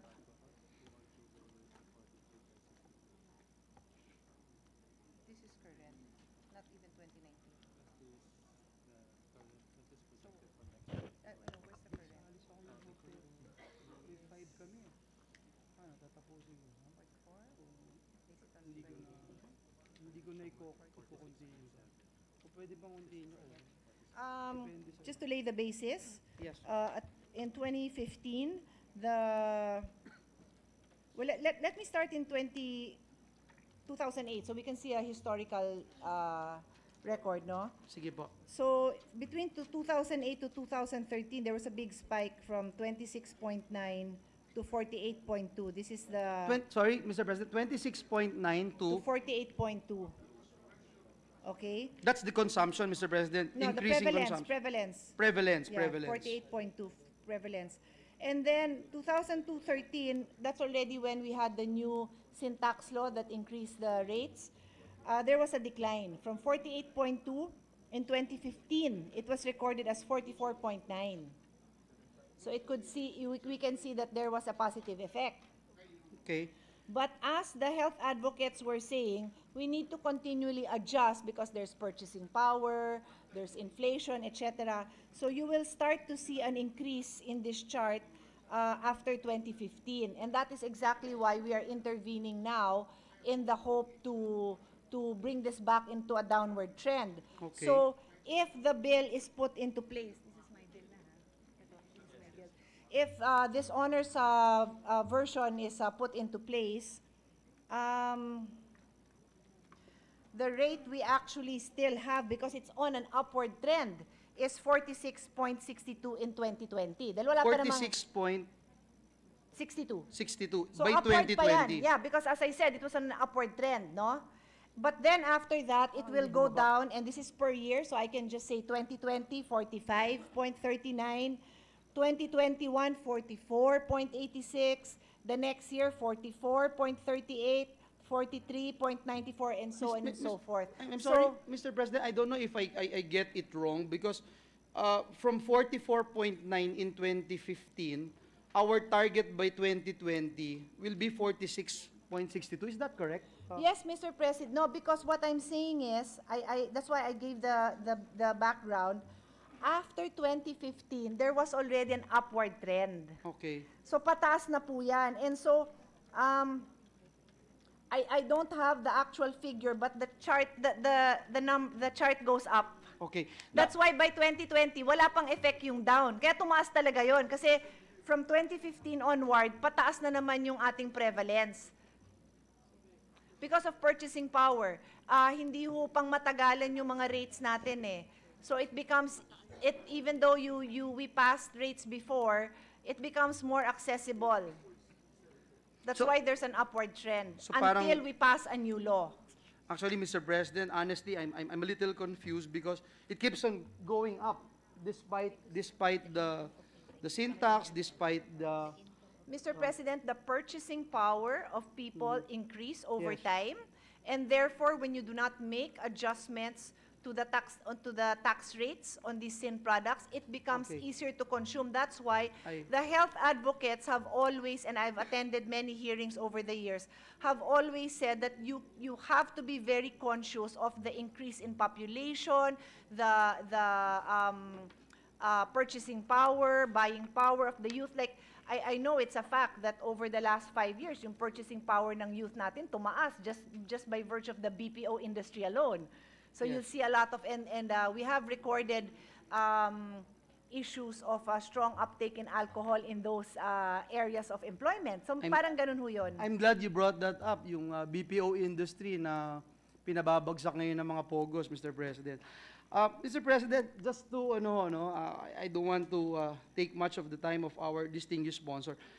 We- we're, we're talking about uh, the, the, the price elasticity or price sensitivity of uh, demand, and uh, Your Honor made mention about the 0.2 uh, elasticity. As mentioned earlier by this representation, and uh, please correct me if I'm wrong, it means that for every 10% increase in price, it would lead to about 2% uh, decrease in consumption. Is that a correct uh, assumption?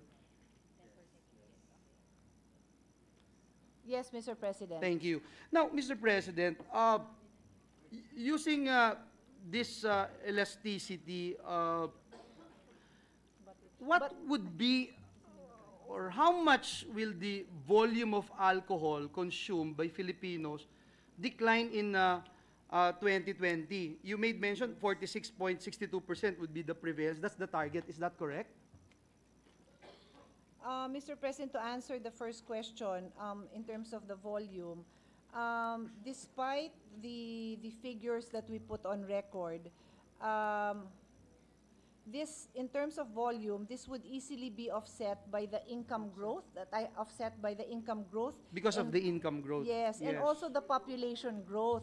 Okay. I, uh, this representation is very, very um, conscious of this. We went over the figures repeatedly because we are always asked what is the effect on employment. Yeah. And I will so, go to that. That would be my though- last uh, part, Okay, Mr. President. Because even though uh, we target a decrease in consumption per person, the growth of the industry will remain there because of the income growth and because of population growth. I hope, Mr. President, that we'll get all these figures from uh, DOF because it's a little bit confusing, uh, Mr. President. no? Actually, Mr. President, if you look at the historical data, it's very clear.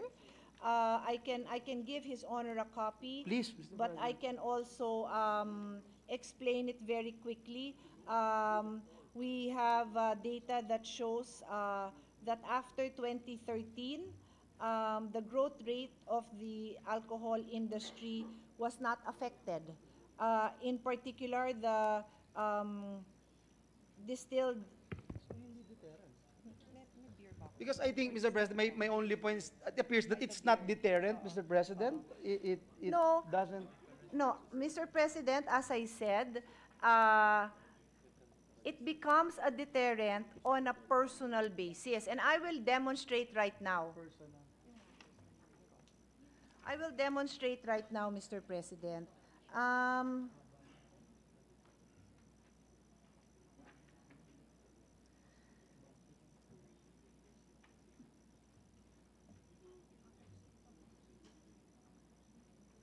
So, Mr. President, um, the price of beer at present, SRP, is about 42 pesos.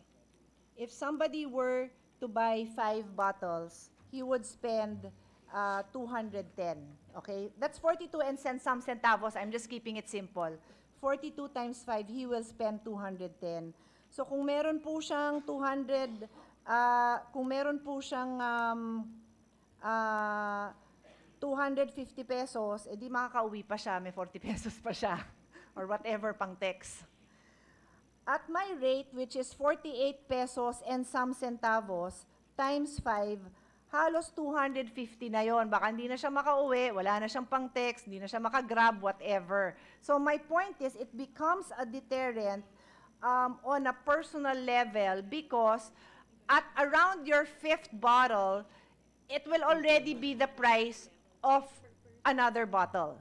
So the increase would make somebody who has a 200 peso budget, a 300 peso budget, think twice about that last bottle. And in terms of health, it is binge drinking that we need to look, we need to keep uh, an eye out on because it is binge drinking that has the highest health risk among, among people. And Filipinos have a very high binge drinking rate. So if we can prevent one person from getting that fifth bottle or that sixth bottle, na-achieve po natin yung immediate goal natin. Immediate lang naman na hindi siya maging one more bottle drunk. Now, in terms of the overall uh, sales, it will stay the same because there is an increase in population and there is an increase in buying power.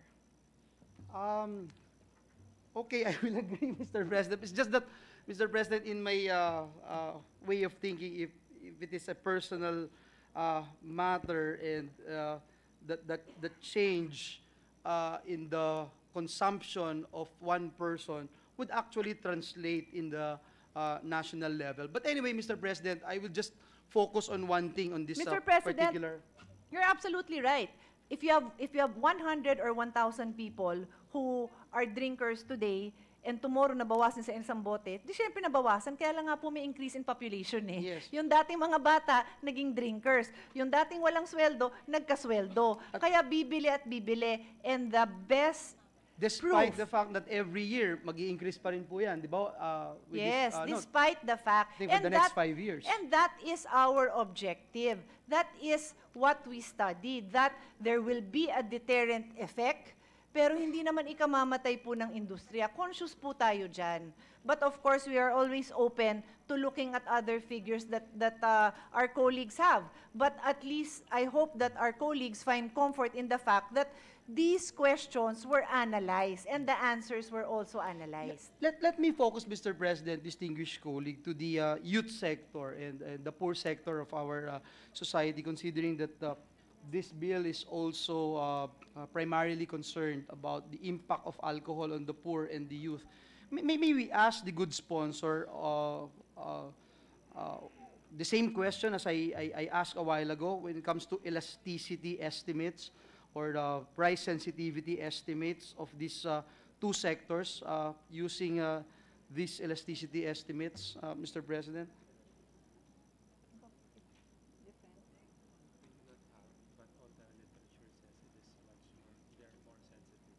And perhaps, uh, Mr. President, the, the, the next question would be, using these uh, elasticity uh, estimates, um, kanina binanggit po yung uh, 0.2 uh, elasticity. Okay, got it, got it, yes. Okay. Ano po Mr. yung sa poor, ano yung sa youth, and uh, using these elasticity estimates, by how much are the poor and the youth expected to reduce their consumption under this measure? Mr. President, um, what we have is the, the conclusion that the poor and the youth are more price sensitive. More. That's why they would be more affected by increase in prices and also by health campaigns. And uh, that is a good thing. That is what we want to achieve. It's not just 0.2, so definitely it's higher. So what would it be? Uh, do, do we have a, a data, or we, I mean, if the We don't, DOF? we don't have a survey on that, Mr. President. Um, but what, one thing I've discovered during the hearings is that uh, it will really help us to have more detailed survey, surveys to guide us in the future. But um, that principle is clear. There is no doubt on, on that principle. It's just that we have not conducted such a survey. Oh, that's unfortunate, Mr. President.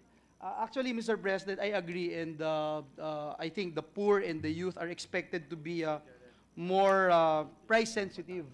Um, however, uh, if we don't have the data, um, perhaps I would just go to, to, to my next point, Mr. President.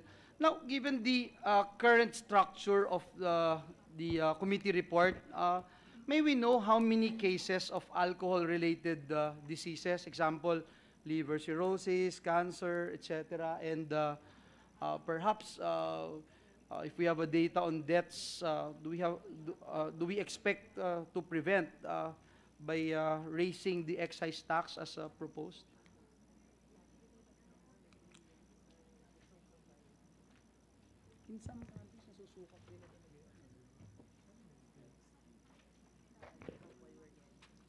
Mr. President, alcohol accounts for 5% of the Philippines' years of human life lost to illness, disability, and premature deaths.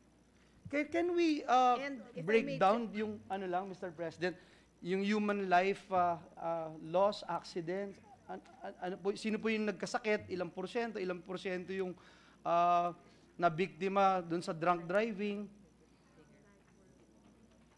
Sige, that, that is one chart. I look for another Yeah. chart that provides Sige po. uh, other Sige, po, Mr. details. President. Now, Mr. President, uh, because I wanted to focus, Mr. President, actually dun sa accidents and violent acts associated uh, with the over-drinking and uh, how we are uh, addressing it through this uh, particular uh, uh, measure.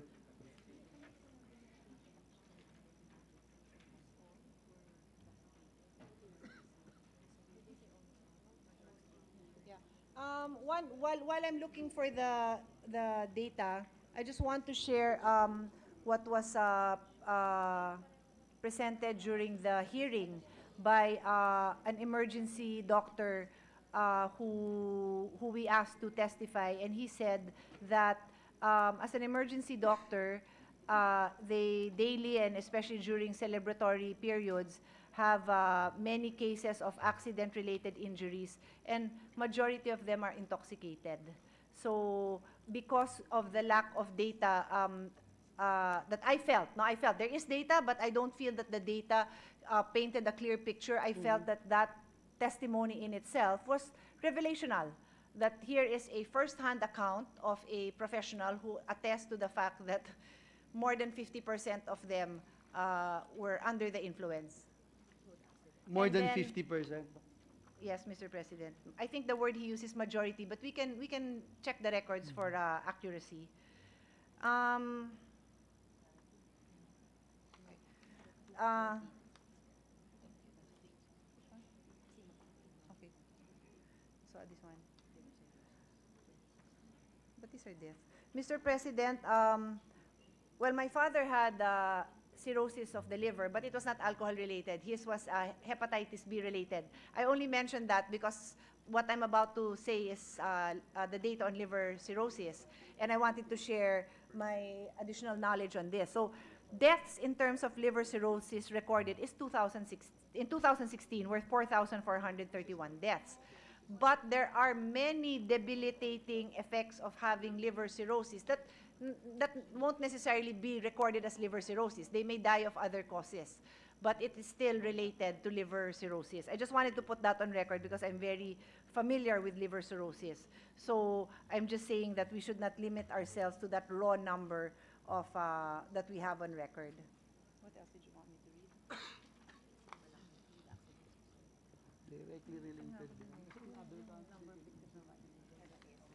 Okay.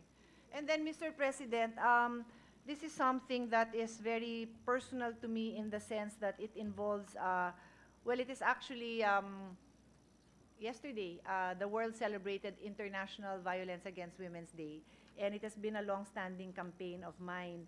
And, um, Mr. President, uh, a lot of incidents involving violence, domestic violence, are accompanied by alcohol abuse by the father, and I would assume maybe sometimes it's another member of the family. It could be an uncle, a grandfather, it could even be a woman, of course, is under the influence. And those cases are underreported because even our cases of violence per se are underreported.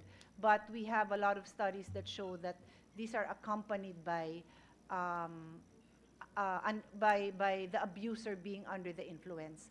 And I know His Honor is, I need not um, belabor the point when it comes to that issue because His Honor is very familiar and also an advocate on this. That to me is an underreported um, uh, issue and repercussion related to alcohol. And uh, we're interested on that, Mr. President, because uh, I think both of us would agree uh, that we really need to uh, protect the quality of life of our people, especially our uh, young people. And that's why uh, we, we, we wanted to find out, because I believe, Mr. President, in some countries, they, were, they, they, they have the uh, uh, uh, mechanism to, to check and uh, uh, measure and look for this uh, data as to how it will change and how it will be prevented, Mr. President. Um, Mr. President, I also have a chart. I can just give His Honor a copy, but just to very quickly put it on record. Death and disability casually, causally related to alcohol consumption. For TB, 25,000, uh, in 20, this is all 2016. Uh, 2016. 25,000. Diabetes, 33,000. Hypertension, 33,000. Ischemic, is it right? Ischemic? Ischemic? Ischemic, ischemic heart disease, 74,000. Uh, disease of the liver, 8,900. Malignant neoplasm of the mouth and GI tract, 19,000. And so on and so forth. Uh, neoplasm of the breast, the breast. Yes. Uh, Mr. President. I, I think the, the bottom line of what we're trying to uh, raise here is that what would happen uh, when we pass this measure, uh, how it will affect the, this, these figures that we are talking about, how it will uh, be prevented. Have we uh, run simulations as to how many uh, uh, uh, deaths, accidents uh, we expect to uh, prevent by raising the excise tax uh, as proposed? Yes, of course, Mr. President, uh, they, they all will have an effect.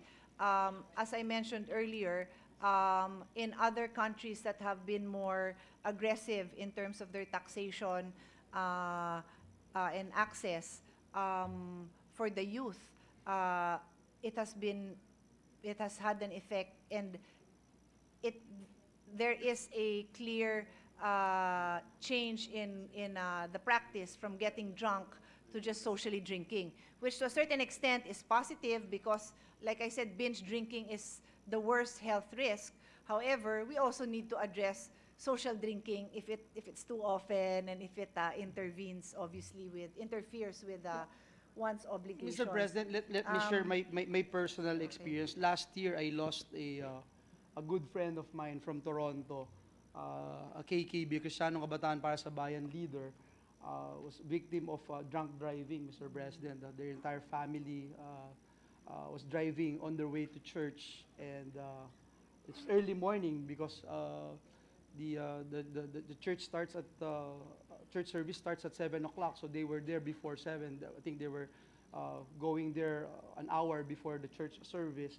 And so thi- this accident happened. So I, I'm, I'm just uh, wondering, Mr. President, if we have the data, if we have already studied, for example, if we pass this measure, uh, kasi in, in other countries, nasusukat po nila ito. I'm just interested if we have that. If we don't, uh, or kung ipiprepare, okay lang naman po, Mr. President, na nahintay natin or uh, Actually, ibigay Mr. na lang President, we do have this Aha. data uh, as to how, what is the effect of uh, our rates on um, uh, reducing alcohol-related deaths. These are based on the DOH, uh, computed on the DOH DOF rates, which are lower than the rates proposed by this committee.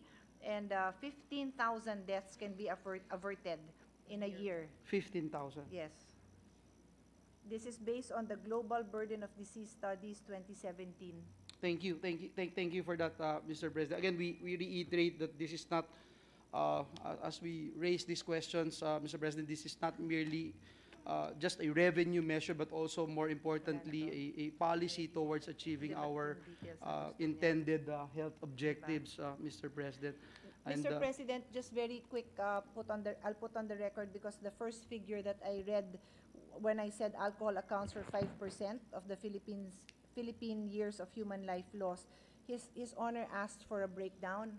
And uh, the breakdown I have is worldwide. So of course, there would be some variance for our country, but you know, at least we have a basis to see that um, worldwide, harmful use of alcohol causes 26% of all mouth cancer cases, 11% of all colorectal cancer cases, 5% of all breast cancer cases, 7% of all hypertensive heart disease, 48% of all liver cirrhosis cases, 26% of pancreatitis cases, and 20% of all tuberculosis cases. Well, thank you, Mr. President, uh, for that information. And uh, if we have uh, information uh, for the Philippines, Mr. President, I would gladly uh, uh, ask for a copy, Mr. President. Um, Mr. President, let, let me go to my, my next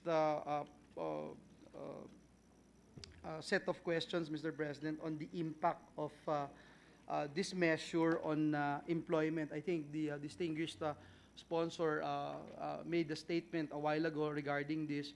I think uh, it is important that we, we, we, we, look into this as we move forward. May, may, may I know, Mr. President, the, the, the impact of uh, this measure on uh, employment?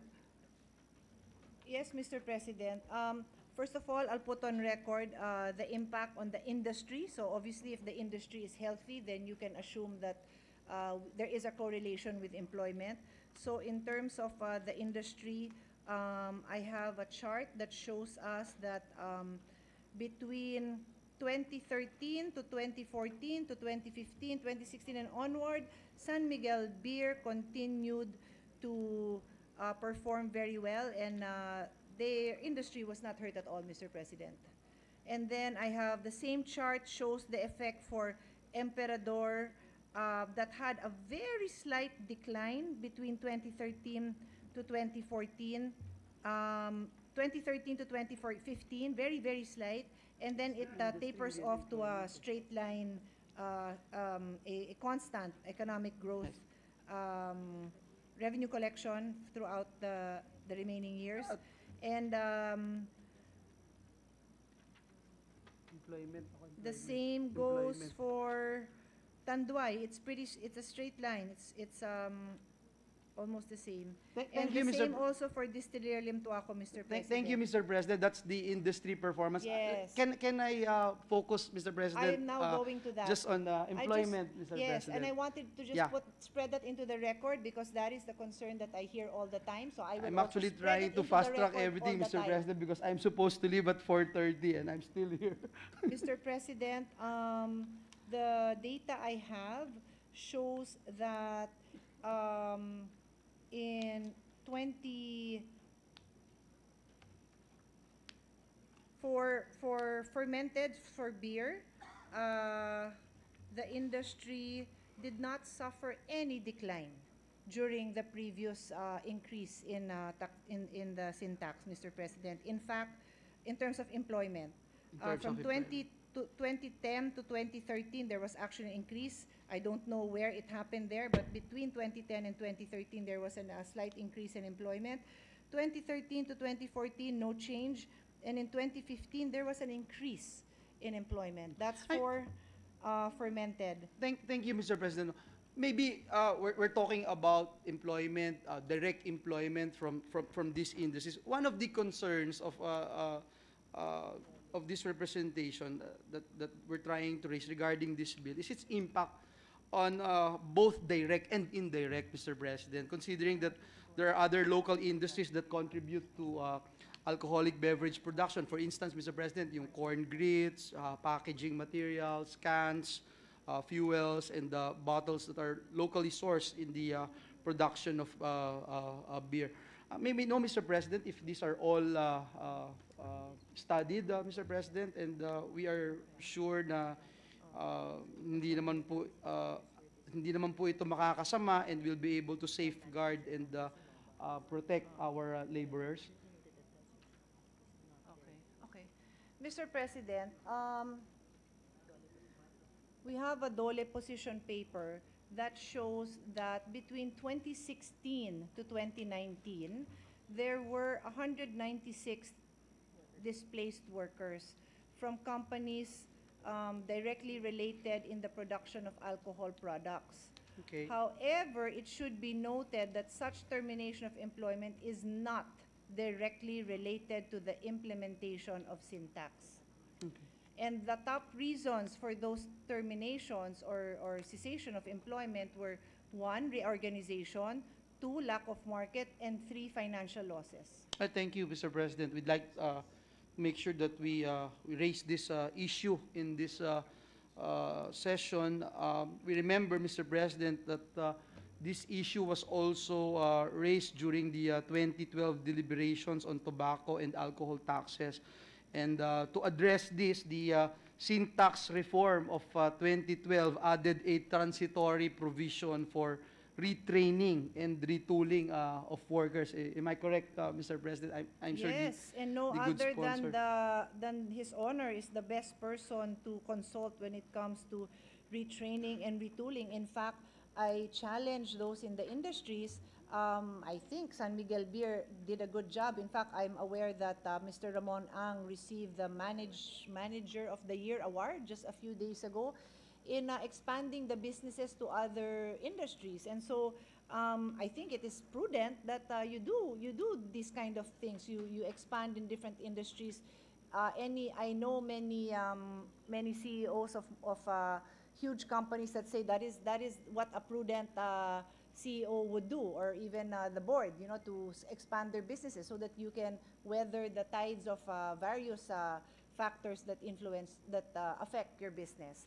And considering that this is a sin product, and considering that all over the world, uh, uh, moves to to increase the prices are are um, tackled by the government, um, it is prudent to to look into different um, business uh, um, opportunities. Would, would the distinguished sponsor uh, op- uh, be open to the idea of having this kind of uh, provision, just like uh, what we Of did in the course. sin to Of have a trans- transitory It's, provision? Actually, if His Honor did not offer, uh, this representation would uh, uh, insist that His Honor gives us a provision of that nature. Thank, th- thank you. Uh, I'd be delighted to do that, uh, Mr. President, distinguished colleague. But, but can, can, can we also talk about it, uh, considering that the DOF uh, uh, uh, and, and uh, different agencies of government are here? May we know how many were assisted uh, by that program in that uh, uh,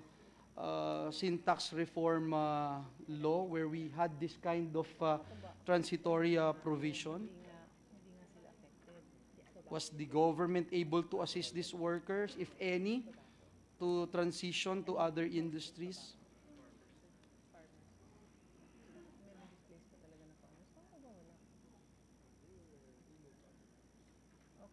Uh, Mr. President, under, uh, under RA 10351, um, a total of uh, 5,000 displaced workers in the farming industry were assisted uh, to move on to other industries. Other industry? Yes. Um, That's not for alcohol, Mr. President, for Yeah. the record. I'm Yes, told that yes. it's for cigarettes alone. yes, yes. And uh, do we have any data on uh, where these workers are now? Uh, perhaps what new job uh, or industry they're in? I'm told, Mr. President, they, they moved to other crops. It will be recalled that um, there's also the Virginia, Virginia tobacco tax, which uh, is required to be used also for development of other livelihood opportunities. And uh, that's, that's always there. But uh, of course, we're talking about cigarettes, no? We're not Yes, talking about yes, alcohol yes. for that. But on this uh, particular uh, measure, Mr. President, uh, based on the estimates of the uh, Department of uh, Finance, how many workers will be, uh, uh, uh, we are anticipating will be affected by the passage of uh, this bill, and how will the uh, current proposal uh, help these uh, affected uh, workers? Sorry, what's the question? How many workers will be affected? Uh-huh, yes. uh-huh. If we have some estimates. Okay. Mr. President, as I, as I put on, on record earlier, uh, the assumption is that um, because of price elasticity, uh, the decline in um, volume will easily be upset, and I underscore the word easily, be offset by the income growth and the population growth. So it is really not anticipated that uh, there will be sectors, there will be uh, uh, um, individuals that would be displaced. However, if that will happen, um, DOLE, um, and all the other, TESDA, and all the other related agencies are ready. In fact, uh, I have um, also reminded them that we should be mindful of this because um, the, the reality is, if there would be, but because our data shows that there will not be, Yes. but if there will be, then this representation does not look at it as a deterrent from passing this measure. This representation looks at it as an opportunity for these people to retool and to enter into industries that have not just as good or even better potentials, but that would contribute to the wellness of our society. I'd like to put on record that the wellness and health industry is a booming industry all over the world. So there's no harm in retooling and uh, helping them transition into industries that have that are sustainable. Well, well, thank you so much, uh, Mr. President, distinguished colleague. I uh, appreciate the responses uh, made by our distinguished sponsor. But uh, at this at this juncture, uh, Mr. President, may I just ask for a one minute suspension because I need to go. Uh, I have liquidity problems, Mr. President. Majority Leader, why don't you suspend the session for a few minutes? I'm not going to have a bottle of beer, Mr. President. Okay, Mr. President, um, actually, next in line to ask questions is Senator, uh, Richard Gordon. But, uh, the Senate President wants a break. Move to suspend session for a few Senate minutes, Mr. President. All right, uh, session suspended for a few Senate minutes.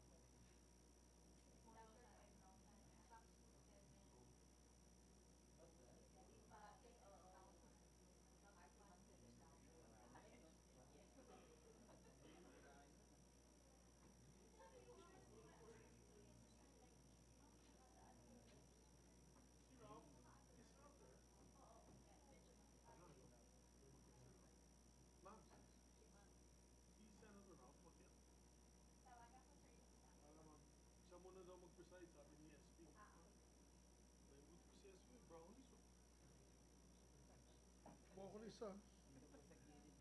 Oo.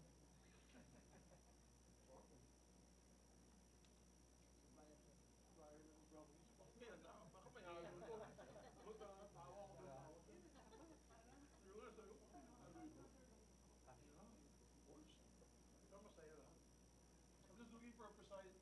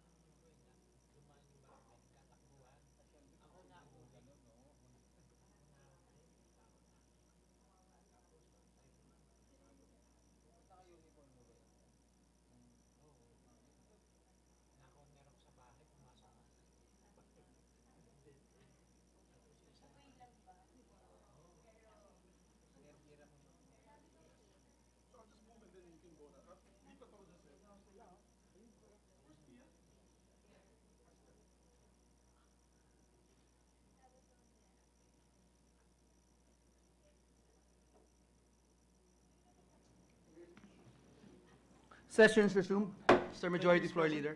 Yes, Mr. President, I believe that uh, the distinguished gentleman from Bulacan, our presiding officer, will uh, um, temporarily postpone his uh, Suspend, questions, yeah. and suspend his questions so that he can allow other members to uh, uh, interpellate the distinguished uh, chairman of the Committee on Ways and Means. Therefore, Mr. President, uh, we suspend the interpellation of Senator Villanueva for a later date, and we'd like to recognize, uh, to interpellate the distinguished sponsor, Senator Richard Gordon. May we recognize Senator Gordon, Mr. President? Oh.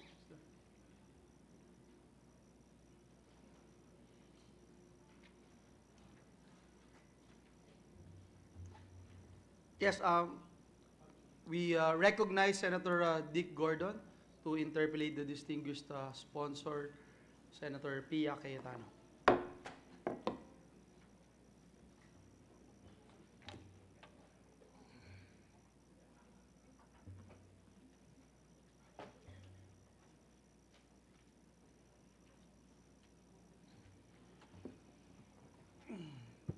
Thank you very much, Mr. President. I, I'll just ask a few questions, uh, more, more, mostly clarificatory questions, uh, on matters of the principles of, upon which we are basing this. Uh, I understand that this is a revenue measure, it is a health uh, measure, as well as, uh, what is the third one? Uh, Health measure, revenue measure, That, that's it. that's it? Akala ko tatlo. No, no, I was just explaining that uh, when I studied and when, when this representation studied and prepared the committee report, we were cognizant of the fact that we need to raise funds, so uh, uh, revenue measure, cognizant of the fact that uh, we need to protect health, so health measure, and also for DOF's purposes, simplicity.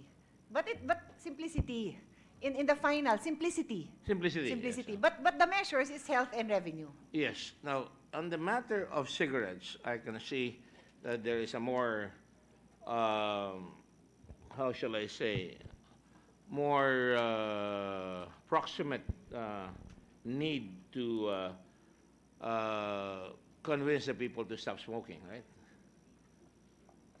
Uh, What response does His Honor, the- I- Well, I- you're you're uh, obviously, me, obviously, if, if it is health, in the, in the, the matter of uh, cigarette smoking or uh, imbibing of alcohol, mas severe yung requirement natin sa health for cigarette smoking. In fact, that was the whole Ah. basis for sin taxes, di ba? I, I, I cannot say that, I cannot, I, I regret that I can't agree with, with His Honor because um, our health experts during the hearings uh, for this measure uh, were very clear that uh, there are ill effects of alcohol that must be addressed. And when I expressed, uh, when I when I asked and asked for clarification if uh, cigarette is a more um, what do you call it? What's the word? Um, more pressing issue. Yes. The answer was no. They are both pressing. In fact, uh, there is a report. Um, I think this is. I remember reading this before. This is. Uh, I think in the Economist, and uh, it actually uh, on a chart on what is the most dangerous drug by far alcohol is number one. So there, Alcohol there is number yes. one. In, in one report, Mr. President, in one report. So let me simply respond to the fact that no, they are equally important. It is, it would be inaccurate and a disservice to say that cigarette is more important to address than alcohol. I understand the position of the good lady, and I'm like to commend her for her very enthusiastic and very learned uh, responses to the questions and her studied uh, sponsorship. I just want to make sure, uh, on the matter of alcohol, uh, I'd imagine cigarette smoking would have uh, more severe effects on the health of our people. Would that be accurate, or are you saying, well, let's just say the health department wants to make sure that we discourage both activities of smoking and uh, health and uh, alcoholic imbibement, imbibing? That is a very interesting question that deserves a very interesting response. Uh, in this chart, which I will be happy to share with His Honor, um, it differentiates the kind of harm. So in terms of the harm to the individual, cigarette smoking does pose um, not more, but it- it appears to be roughly equivalent. In fact, I think alcohol still rates higher, but almost the same harm to self. But in, in terms of harm to community, uh, economic and environmental costs, the cost of alcohol is much more than tobacco. Let's put it this way, there are 16 million smokers, is that correct, in the Philippines? Uh, yes, that sounds, that And how many, correct. how many people drink or uh, consume uh, alcohol? Is there any ballpark figure in that one? Yeah. Actually, more, because the prevalence rate of uh, alcohol consumption is 46% of the population. But uh, on the matter of alcohol, beer or fermented liquor is uh, not as severely harmful, not even harmful. Which one, which one, which? Uh, beer drinking, uh, for that matter. No, uh, The the, real harmful one would be the uh, distilled the, spirits. the proper response to that, Mr. President, would be the alcohol content of distilled products is higher and therefore, uh, taken, taken if you compare, then that is the more harmful product to ingest. However, there are social impacts with beer drinking. I, I mentioned in the interpellation earlier that um, in, in uh, middle-class economies that have been successful in uh, uh, pushing the youth away from alcoholism, what is now seen as a problem is that, yes, uh, there is less tendency to get drunk. It is not cool to get drunk, but there's still a lot of drinking going on, social drinking. And with the social drinking are still the ac- accompanying uh, ill effects, both to self and to, um, to, to the community. But I go back, the hard, the hard uh, drinks really have the more, uh, are more toxic because of the level of alcohol. Maybe more uh, harmful, perhaps, not, not necessarily toxic. More harmful. Yeah. I'm fine to use that. Now, when we, when we talk about the, Okay. the uh, pattern of consumption, there are a lot of beer drinkers rather than distilled spirits. Is that correct? That is my understanding. I was asking for the actual figure so I can quote it on record. We did not have it at the moment, but I remember that coming out in a previous, uh, The data, the data The proves dat- it, seventy-five percent. uh, that is actually the volume, volume, the volume, as of, uh, the tax collection. Yes, Not, uh. and, and even, even the, the volume um, shows that number, but it doesn't reflect the actual uh, number of drinkers. But that is the, but I, I, But the consumption is a lot more. yes, uh, yes, the, the There- volume, there yes. is alcohol, only the difference is the specific, uh, Percent of uh, uh, yeah, yeah, alcohol. the, uh, what do you call it, what's the term for it? Uh, The Um, percentage of proof, liquor, proof liter. huh? Proof liter. Proof yeah, liter. yeah, yeah, the yeah. percentage of alcohol. So, in other words, it is hard liquor that is indeed more dangerous, not only for oneself, uh, but uh, also for others. That would be more accurate, would it? Because beer drinking doesn't necessarily uh, create an. Um, but Mr. uh, President, Is it addicting? Would you say it's addicting?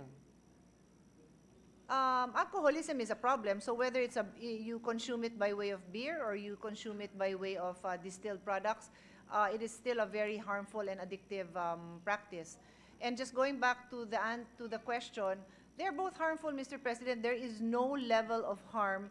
There's no level of alcohol consumption that is considered acceptable. In fact, I myself was surprised when uh, the health experts read into the record the latest findings that there is that even that one glass of wine a day uh, that that we were told is uh, good for your heart is uh, it has been debunked. It is not true. So I am just I heard you that, I heard you Ah, say, you okay. said debunk in a very, very debunk uh, because I myself, way. because Mr. President, I do not drink, but on the rare occasion, wh- when there is an occasion, I do enjoy a glass of wine. So I was a little bit surprised that the only one uh, um, alcoholic uh, drink that I, I would consume maybe three times a year, uh, my excuse does not fly anymore.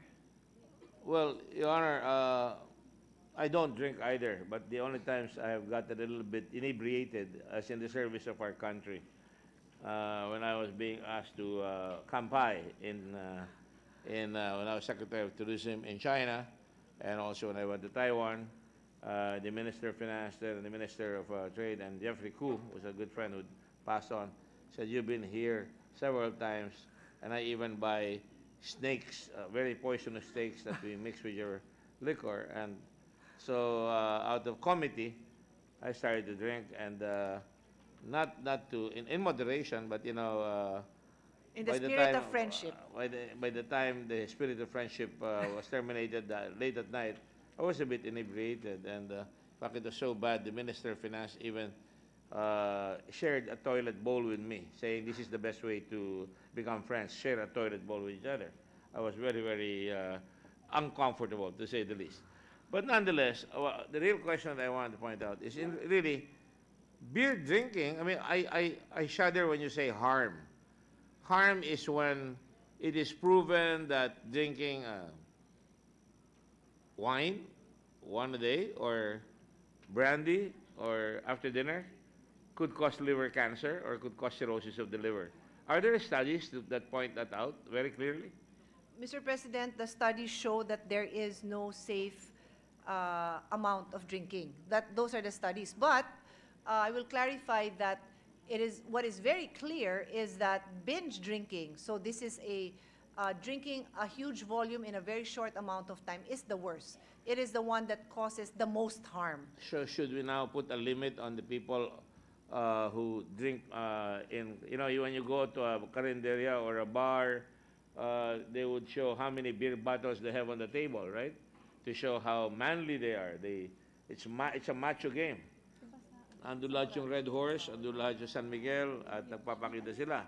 Sa probinsya naman, pag dumadaan ka, I'm sure you've seen this, lalo na doon sa coconut uh, areas, papalakpak sila.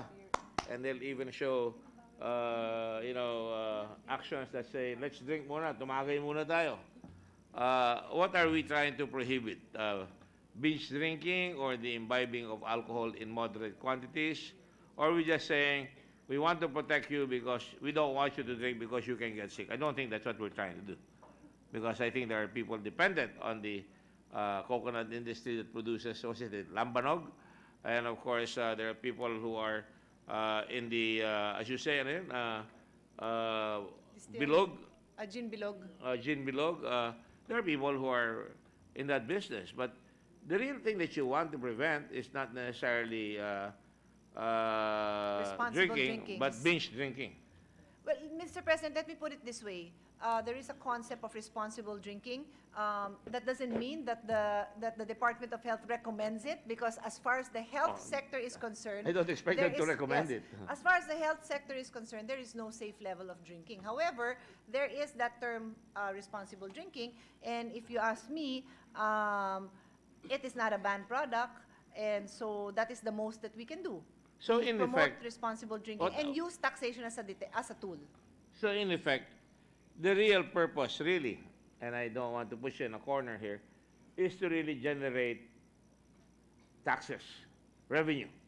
Because there really has not, it has really not been proven that there is a direct connection between drinking and health problems. For example, if we look at the 10 killers of uh, major diseases of the country, uh, I would say cigarette smoking plays a part there because it's uh, uh, mostly respiratory diseases. Number one yan, di ba?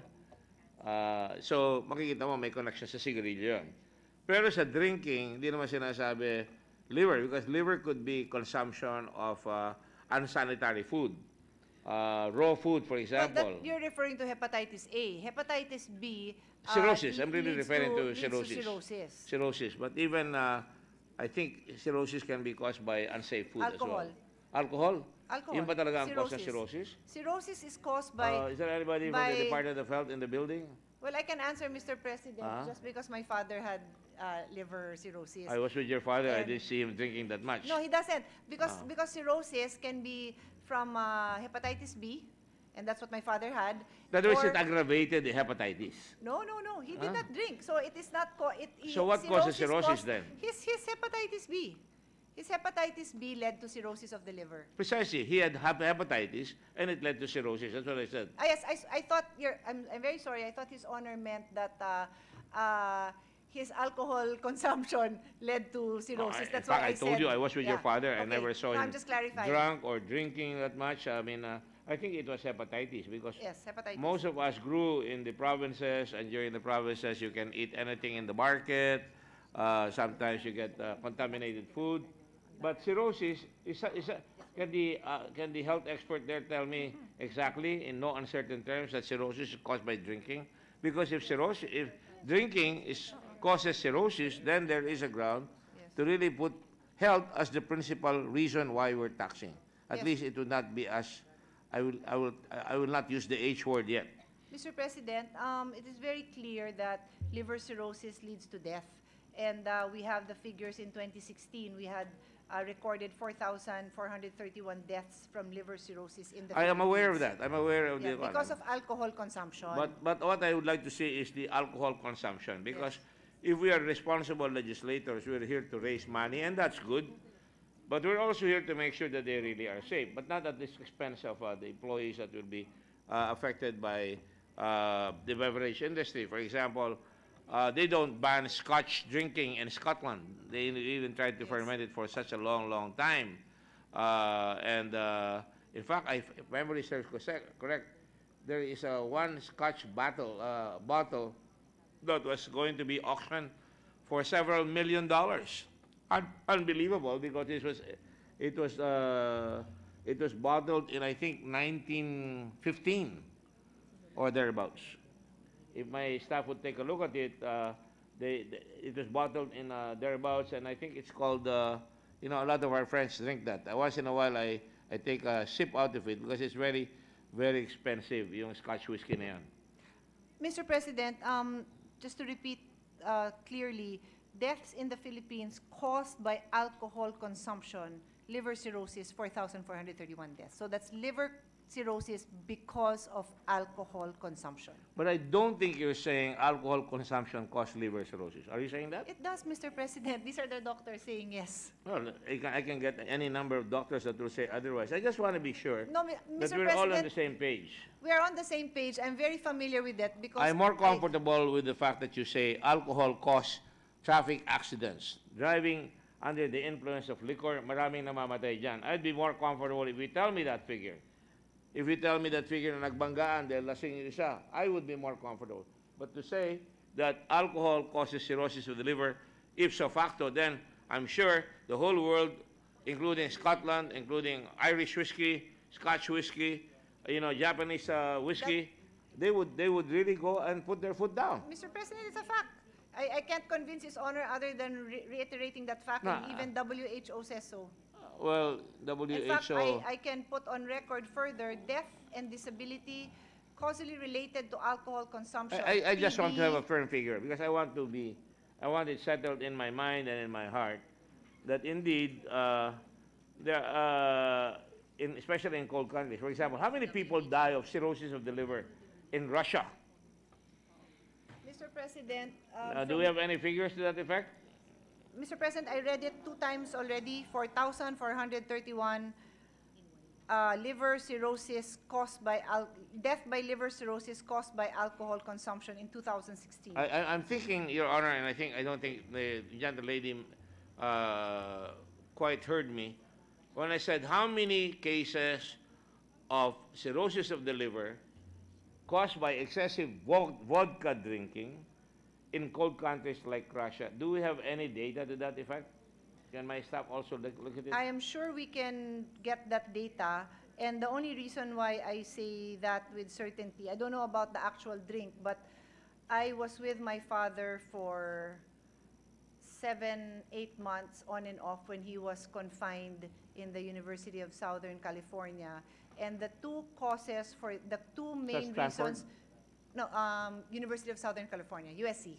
oh, yeah, okay, sorry, the Trojans. uh, And the two main reasons uh, that the people there were confined was uh, liver cirrhosis due to hepatitis or liver cirrhosis due to alcohol abuse. All right, okay, I'll take that. So that's just that. from my practical uh, that's, a, that's an experience, individual. yes. Uh, And- that's an individual. Rene, no? All right. And we also Whose have name is Reborn. and we also have data from WHO that says alcohol liver disease, otherwise known as ALD, is the most common cause of cirrhosis cirrhosis in the Western world and is currently one of the 10 most common causes of death. Cirrhosis of the liver? Cirrhosis of the liver. And as to his And that is honors- caused by alcohol abuse. Yes. And um, I, I would appreciate it if you could give me a copy of it right Sure, Mr. President, we'll be very happy Ah, to. yes, And, because, uh, uh, that's very helpful. To respond to His Honor's question about Russia, liver cirrhosis mortality rate in Russia is among the highest in the world. That's what I wanted to ask. Russia also had the highest rate of alcohol attributed, attributable liver cirrhosis mortality for both genders. That's, that's where I was leading up to. I mean, I think you should uh, take a look at it. They would have it in the millions, I would imagine. People drink there because it's cold, because they're poor, and they uh, take to the bottle to uh, lessen their uh, uh, insecurities and their fears, just as so many Filipinos go to Shabu or sometimes uh, liquor. Uh, but then, of course, that's more popularized also by Hollywood, na, or, or, or even our movies that uh, tend to blame liquor for, uh, as you say the other day, which caught me agape. Uh, it leads Caught to wife beating. wife beating, because I, I see that in the drama of many Filipino movies, and I own the movie house, so I know what we're talking about here. now, having said that, Your Honor, uh, uh, if indeed, would 4,000 be a legitimate figure to say, raise taxes, so that they will not, 4,000 people dying of cirrhosis? Mr. President, um, liver cirrhosis is not the only problem um, caused by alcohol consumption. Uh, We also have um, TB, 25,000, uh, 25,000 people were either uh, died or disabled because of TB. Tuberculosis. Uh, Yes, tuberculosis. Is that Um, because of chew beer colosis? Could be. Uh, For diabetes, Mr. President, um, and I, and this is where people do not, a lot of people, I, I personally only learned about this a few years ago. Um, A very big contribution to diabetes is alcohol intake because There they is a say it's point of pure agreement sugar. between us, diabetes because of Yes. too much sugar. And the number here is very high, Mr. President. It's 33,000. And I'm looking at my inaanak, uh, Senator Zubiri, who's on the podium. Uh, what impact will that have on the sugar industry in our country? Uh, On, on which one? We already passed the sugar tax earlier, uh, last 17th Congress.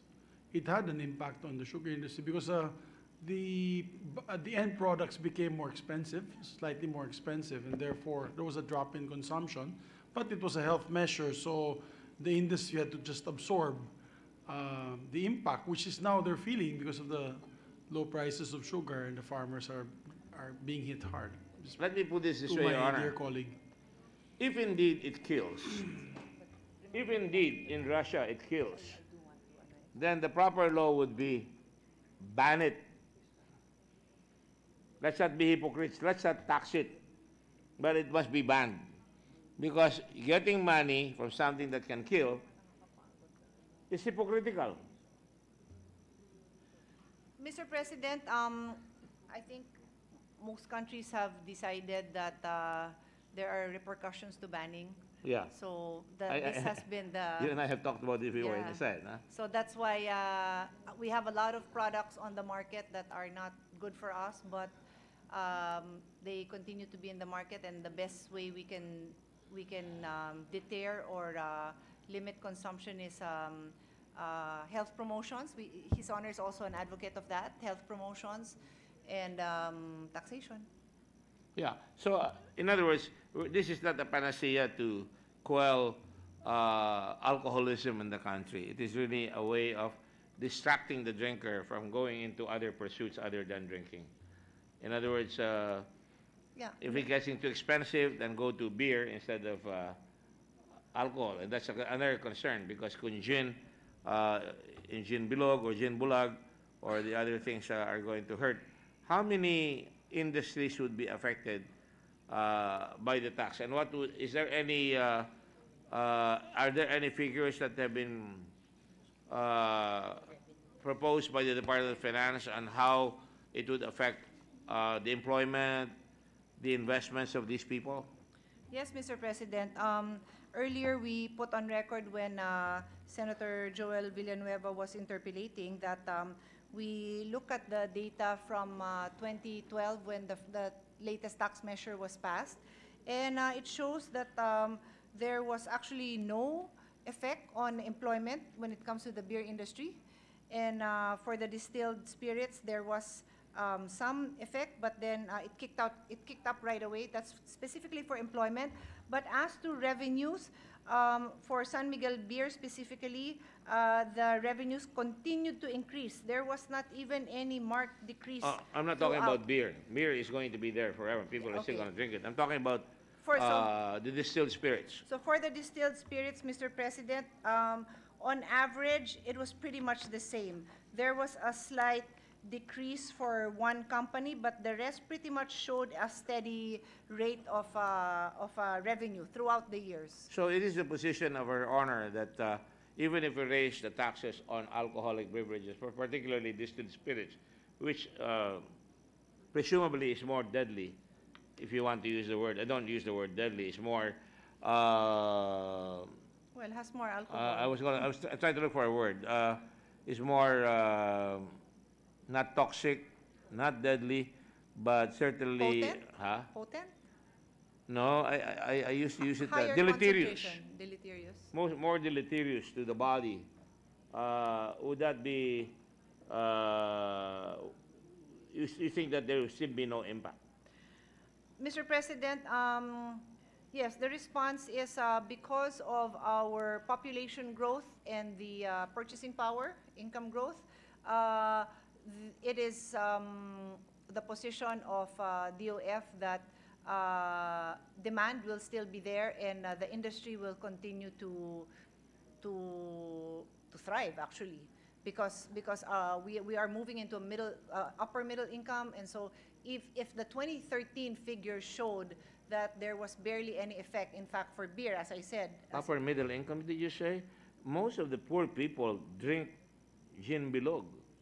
These are usually people who Yes. have hand-to-mouth existence. Their only sources is to drink a couple of uh, o tubagay. Uh, but upper middle, that would really refer to the higher Yes. end drinks, no? I, I mean, I can, I can, I can rephrase my statement, so we Ah, don't have to go into that. But generally, because the in, the income, the increase in population alone, and then the growth of income on the average, will be enough to offset any possible decline in consumption. That is, that, those are the figures that we And have, damn Mr. what they say about cirrhosis of the liver.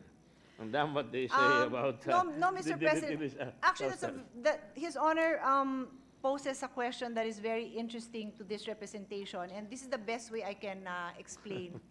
Uh, When, when you look at, I'll- I use beer as an example. When you look at the price, the retail price of beer currently at 42 pesos, and uh, you multiply that by five or six beers, which is the normal inuman rate, it's on that fifth or sixth beer that yung budget mo of about 250 pesos will will end. For the So, month, for the month or for the Whatever, what, no, let, in, in one, in one drinking session. So therefore, you will, the, the tax measure will effectively raise the price of beer from 46 pesos, so 42 to 48, and around the sixth beer, you run out of money. So we did achieve our goal of lessening the intake of that person On the the contrary, sixth, if you're, on the sixth if you're, beer. if you're dealing with your barkada, when you run out, o ako naman, o next round is on you. And of course, meron naman din pong ganon. But, Yeah, but yeah. that is the general effect of, of taxation.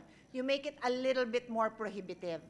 That's, that, that's why on an individual basis, uh, we, this representation stands by uh, the measure so that we can at least attempt to make it a little bit more painful on the pocket when it comes to that fifth or sixth round.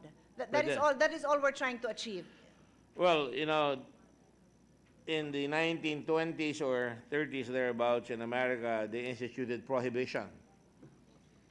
And uh, prohibition as a way upon which they said, oh, you know, all the Bible preaching uh, folks in the American Congress said, we'll have prohibition.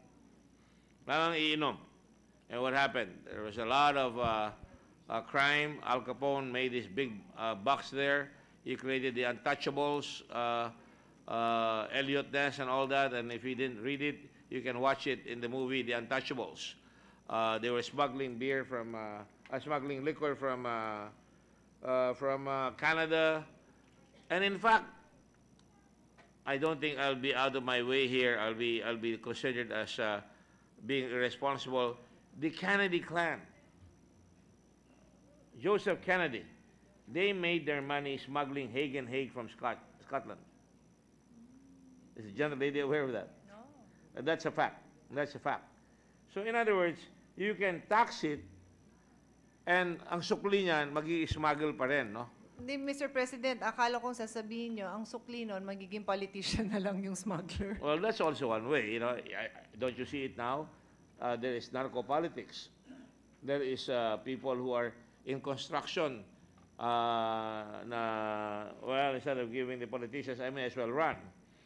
There are quite a few of them, as you know, and we're not going to mention that, are we? But anyway, to make a long story short, I think that uh, there is always uh, a reaction, and uh, and uh, I think I just laid the premise on this. The, the, the, the government must not be a hypocrite when it really intends to get money from liquor, money from alcohol, alcoholic uh, substances. And government must also try to measure the impact on the economy, upon the people working in this, uh, uh, in, in the people, and also on lawlessness. Because in prohibition, one of the things that happened was the moonshine that came out. And, uh, you know, there was a, another famous incident in America where uh, there were clans fighting over uh, moonshine in the deep south. So, well, I guess what I'm trying to say is we're all looking for a balancing uh, system where we can have liquor and at the same time make some money, but at the same time we don't uh, throw the baby with the bath, so to speak. Is- Isn't that the case? Yes, we're trying to find that right balance, Mr. President. Not to throw the baby with the bath, literally. Yes. So, okay, thank you. Uh, now, let's go to cigarettes. Now, cigarettes is more or less the same thing. Only popularly, it is more pronounced that cigarettes cause cancer. It's advertised on the packs. In fact, the gentle lady has also been pushing for putting uh, very more, uh, more illustrative ways to prevent uh, cigarette smoking. But now, uh, is it science or is it innovativeness? They've come out with uh, smokeless cigarettes, okay? And according to them, it's the uh, when you don't burn nicotine, it's uh, or burn the cigarette, it's uh, actually a lot safer. In fact, 90% safer according to some studies, and which we have to take with a grain of sand as well, His because Honor- on both sides have a tendency right. to overstate their case. Yes, Mr. President, and in the, in the, um, uh, what do you call it? In the trip I made to, to England. London, to England, uh, where we had, um, the proponents of the e-cigarettes there, uh, I actually asked the question, kindly explain to me how you came up with ninety-five percent safer. And my staff who was with me is here, le- sorry, 95% less harmful. I always make that mistake. 95% less harmful. And I, I, I could not, he, he did not explain it to me. He did not explain it to me because I truly wanted to understand. Mr. President, believe me when I tell those who, who feel, who feel uh, more um, open about uh, uh, e-cigarette and, and, you know, it's, it's allowing people to switch. I myself, I'd be very happy to support a product that would really help people switch and uh, be, not subject them to more harm. But the bottom line is, um. Well, that's the ideal, right? That is the idea, but the That's bottom. the ideal, no harm. Yes. But even food can be harmful. Of course. Sugar can be know that. harmful. Yes, we know that, Mr. President. Yes, And uh-huh. even, even our, our, um, you know, over-the-counter, uh, uh, pill for a headache has side effects. We know that. Yes. However, um, let me just say this, that, uh, during our hearings, it was established that the FDA has not allowed any of these e-cigarette companies to say that it is safe or safer. They're not even allowed to say that yet. I think they're going through hearings right now to even determine if they can, but right now, they cannot say that. in the- America, in the- Canada, and US. England, they have. No, no, in the, in the US, they cannot. They cannot say that. They In cannot. s- America, they have. It's, uh, No, they're not it's- it's allowed to say it, harmful. I- I Mr. think President. I No, it they're not allowed to say it, and that's why a lot of them have been made to explain why they have said that. They, like, a lot of these companies have, uh, have, you know, gone to um, schools in the past, no, in the past. They've gone to schools and explained to kids and have used those terms of reference, parang less harmful or safer. And they were called to task because they're not allowed. So I'm, I'm just putting that on record, Mr. President, because uh, this representation is more than happy to support, um, you know, when the, when the right studies are there to show that this can really be a product that uh, will not cause the kind of un- unexpected harm. But the bottom line is there is there there the experts are not prepared to, to tell us what, what harms to even expect because it's such a new product. I have, I have a research from my staff here that says, uh, in April 2019, very recently, the United States FDA authorized the products for the U.S. market appropriate for the protection of public health because among several key considerations, the products produce fewer or lower levels of some toxins than combustible cigarettes. Mr. President, um, during the hearings, it was clarified that although they are allowed to sell it, they cannot make any health claims. They are still fighting to be able to say, to make some health claims to the effect that it is So safer the rule or is less not harmful. totally completed yet. Um, I, I, my, understanding of the process is, is, is something like that, that they are still uh, asking for permission to be able to make certain claims. So it's still in the process. Yes, but as of now, they cannot make those claims. Uh, well, the And government of Canada is saying completely replacing cigarette smoking with vaping will reduce your exposure to harmful chemicals. Because in the principle of Canada, the United States, and England is to move people from their addiction to Yes. tobacco, to uh, uh, to how do you say combustible products, and cause go, cause them to go to another uh, product that is uh, uh, less harmful, a lot more less harmful. That's what they're doing, and I think that's uh, in in the realm of the capitalist society. It really is trying to make business thrive at the same time trying to protect the public. Mr. President, there's a big difference between the models in Canada and the UK and our country, and I, I can, I can summarize it in a few sentences. Uh, those countries have been in the forefront of tobacco regulations. Yeah. So, for example, um, in, uh, uh, in the UK, uh, they have plain paper packaging and they have no point of display. So, um, it is so so they have been successful in convincing the youth that there's nothing cool about smoking. And you've been repeating that over and over again, and I'm very impressed and about so that. And so because of that, they now can explore what this alternative product can do to those 3 million smokers that I are think you still just said the addicted. magic word, so Honor. I do see, Mr. President, um, I, I'd like our colleagues to understand that I, I mean, I'm, I'm above average intelligent person, so I understand the, what they are trying to achieve. Humility However, doesn't suit you. However, um, the, the, the environment in our country is very different. So, you know, How is that? The reason is we do not have plain packaging here. So, so We can have that. we yes, exactly. In, In fact, in fact, Your Honor, if you go to Japan, they're still doing combustible smoking. That's uh, that's the more uh, prominent smoking, isn't it? yes, And yes. Japan is a very health-conscious nation. After Yes. all, their citizens are very, very old. Unless they have a policy of killing the old people by encouraging them to continually smoke combustible products.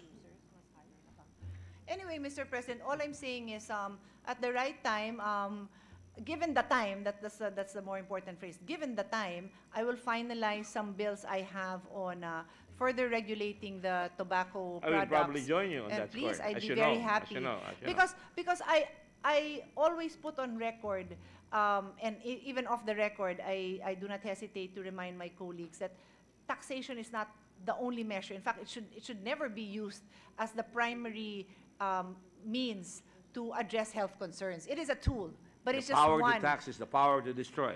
We learned that So in law school is- very well. It is just one tool. So um, we do need these other accompanying legislation to be put in place. But having said that, when, when, and when, because I, I believe everybody's on board in, in passing some kind of measure, um, I, I, I, this representation would be very concerned if, uh, you know, we open the gates wide open for e-cigarettes precisely without all those controls measures, measure in place. Well, I, I think nobody's going to argue with you on that point. There's got to be a holistic effort to Approach. make sure that we discourage our children. Uh, first of all, you don't sell cigarettes, whether it's combustible or non-combustible, to minors. By the way, what is the gentle lady drinking? I've noticed that she has different bottles there. Uh, is she I am, imbibing eh, uh, some these are my- uh, liquor? Open, o- open system. I'm, I'm combining different flavors. Actually, That's like vaping. You're combining an open system. You're putting all kinds of things there. Mr. That may be dangerous. This is just water. and then this is actually tea. And the reason why there's a cup is because I'm attempting to keep the tea hot. And it will burn my throat if I drink it straight. So, I So let's tax hot water then. It's harmful. Only if only if you are impatient. if you are patient enough, then it gets cold. the, the point that I'm trying to make, Your Honor, is that we have to be sensible about the whole thing. And I'm just trying to raise points. Here's a country that's very, very rich, Japan. I'm sure China smokes like a chimney as well. Uh, that's it. Uh, how, how, how about the smoker is uh, the Chinese people? Maybe we should sell cigarettes uh, to China so that they will not invade us in the future. With their pogos and all that. I'm not talking about armed invasion, not yet anyway. Mr. President, a tidbit of information from what I know in Japan is the reason why the e-cigs have not really gotten a stronghold there is because the, the cigarette lobby They're the protecting the traditional- cigarette lobby. Yeah. That's right. So, there you are.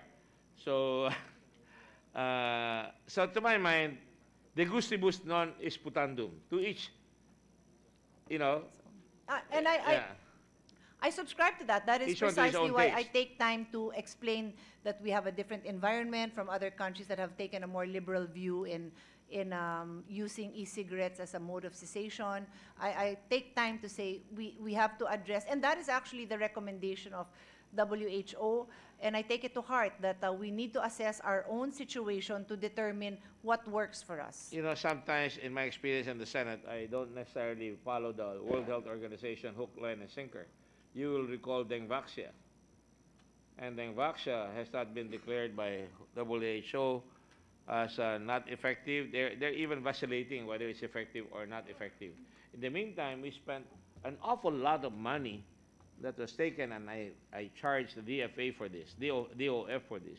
We raise money, and then some of these cabinet officials can be profligate, and they will spend money and even harm our people. And then other people in the government will start perorating about how harmful it is. It creates more harm to the point now that we have incidences where people don't want to have vaccination, and now we have nine polio cases in the Philippines. Nobody was watching the store. And this has been my problem, Mr. President.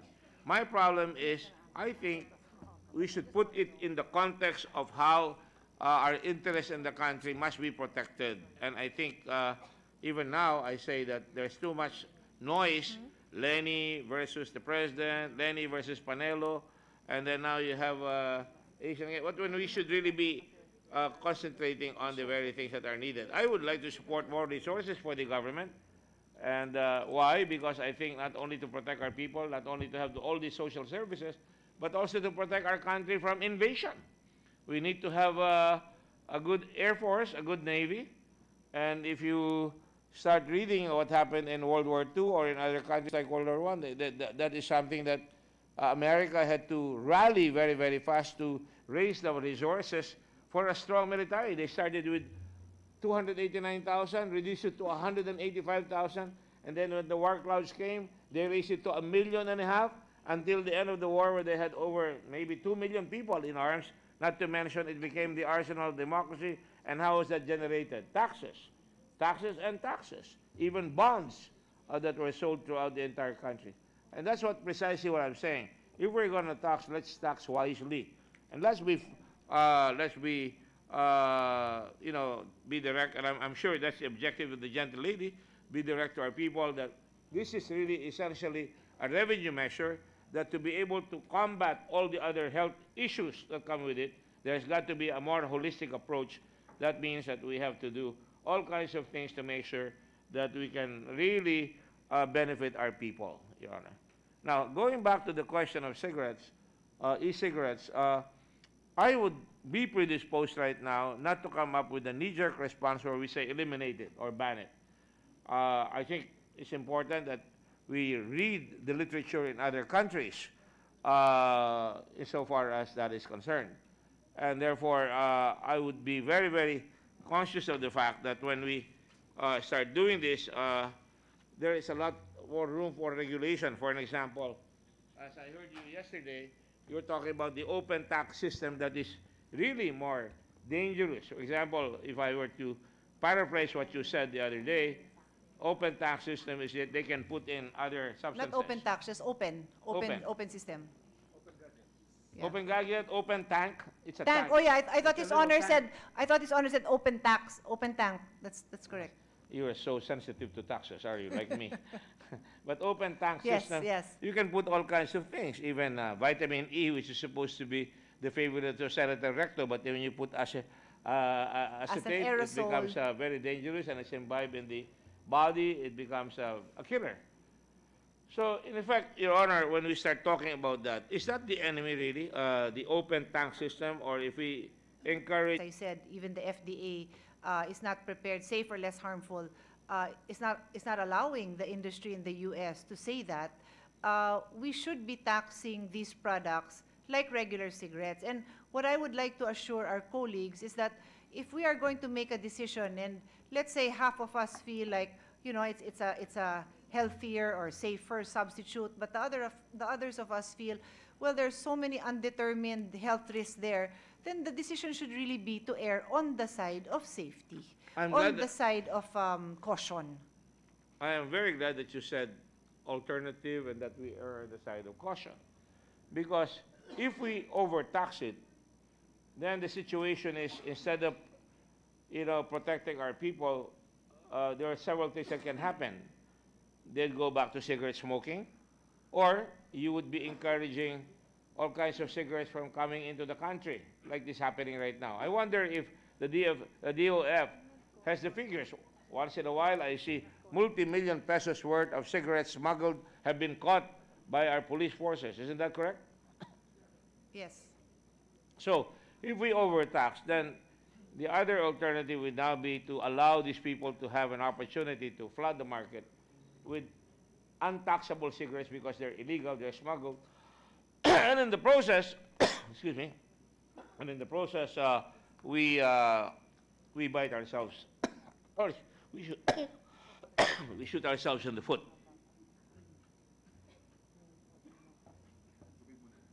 Water muna. That's not because of smoking. I don't smoke.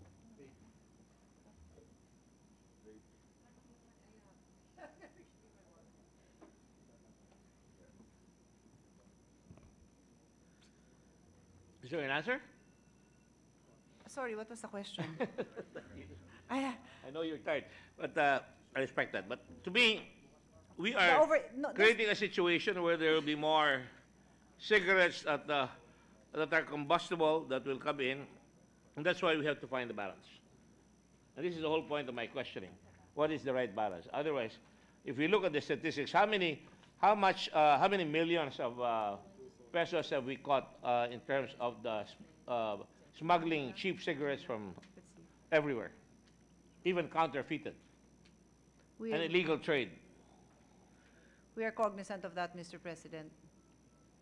I mean, the, the, the issues that, that So there room, there's wiggle room, in other words, in your proposal. Not too low, not too high, but looking for the uh, mean or the average, so that I think we can do so enough to Well- protect our people from going into cheaper cigarettes if they're overtaxed, or enough to say you have an out, use, uh, uh, you can use the cigarettes, there's an option, but just be careful, uh, do not use the other substances. We have cannabis or other things like that. Would that be where we're going, Your Honor? Well, just to clarify, I've repeatedly said uh, during uh, interpellation for alcohol products that we're always open to any combinations because there's a couple of things we're looking at. We, we look at the distilled versus the fermented and then, um, you know, the different types of taxation. With the e-cigs, we're only talking about one taxation. It's really just the rate.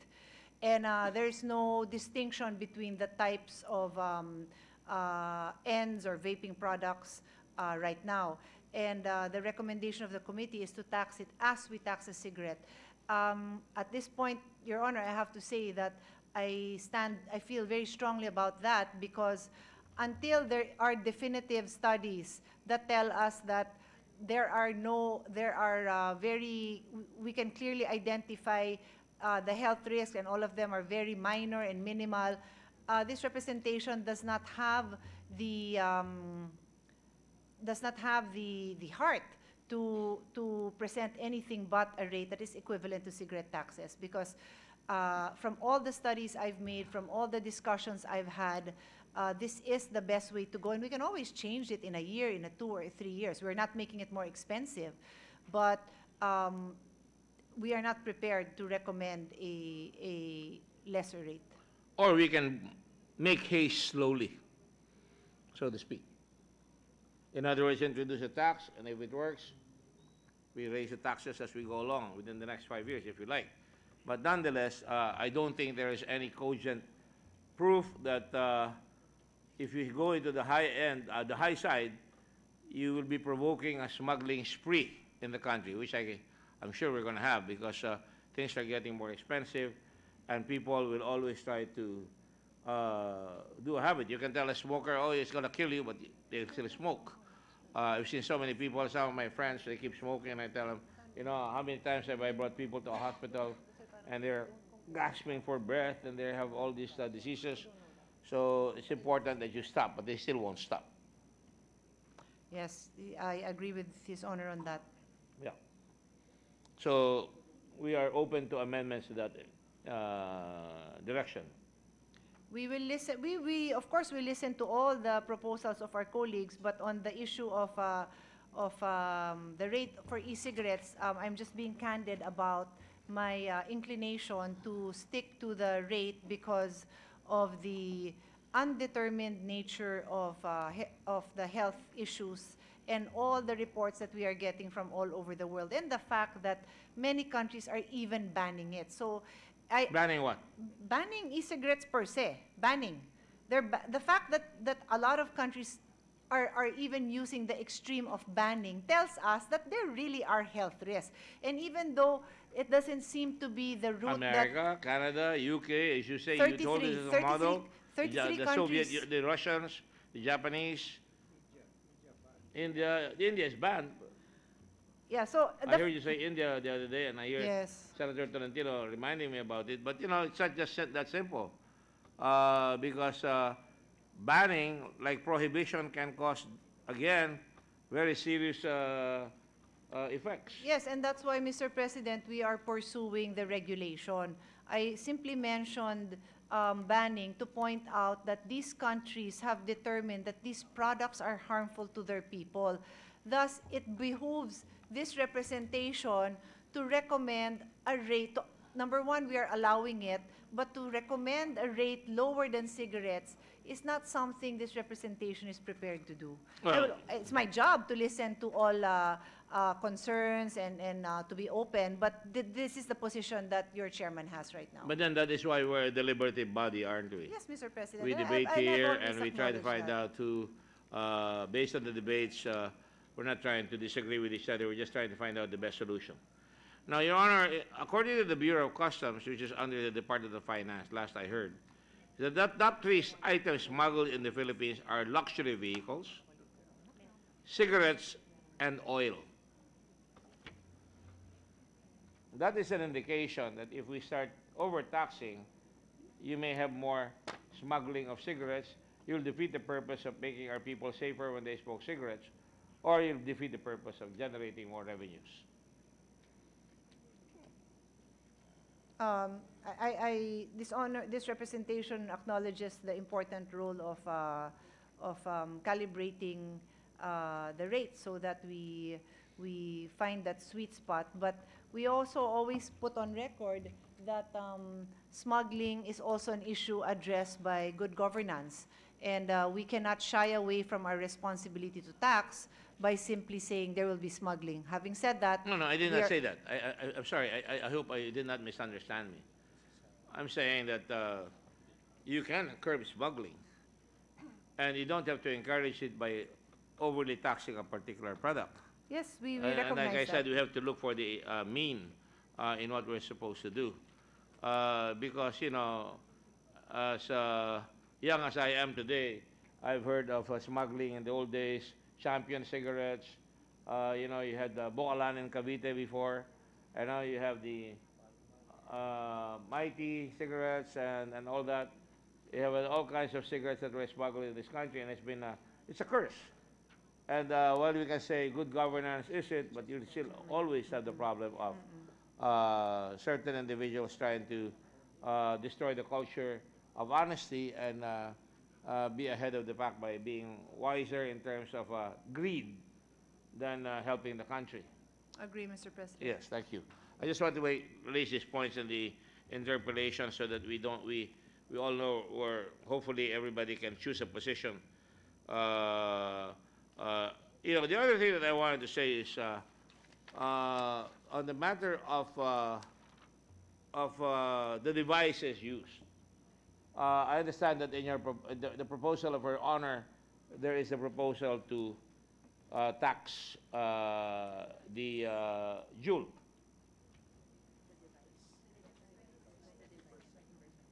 All, all, all types of devices, no? Sa house wala nun. Mm. Yes, Mr. President, we are taxing the device. which leads to another problem, because if you're going to overtax uh, the, you'll come up with, uh, with uh, cheap copies of it that, uh, and uh, when you do that, then you might re- really expose our people to more dangers, as you can see. Uh, uh, they're already paying a, a fee when they bring in the product, right? They're taxed uh, at customs, at the gates. And they have a VAT there. And then uh, when you buy it in the store, they have a VAT. But if you're going to tax them, uh, was it 20% a luxury tax? I think that's, uh, Um, that may be the- overdoing it. The committee report, Mr. Pres- Mr. President, is 20%.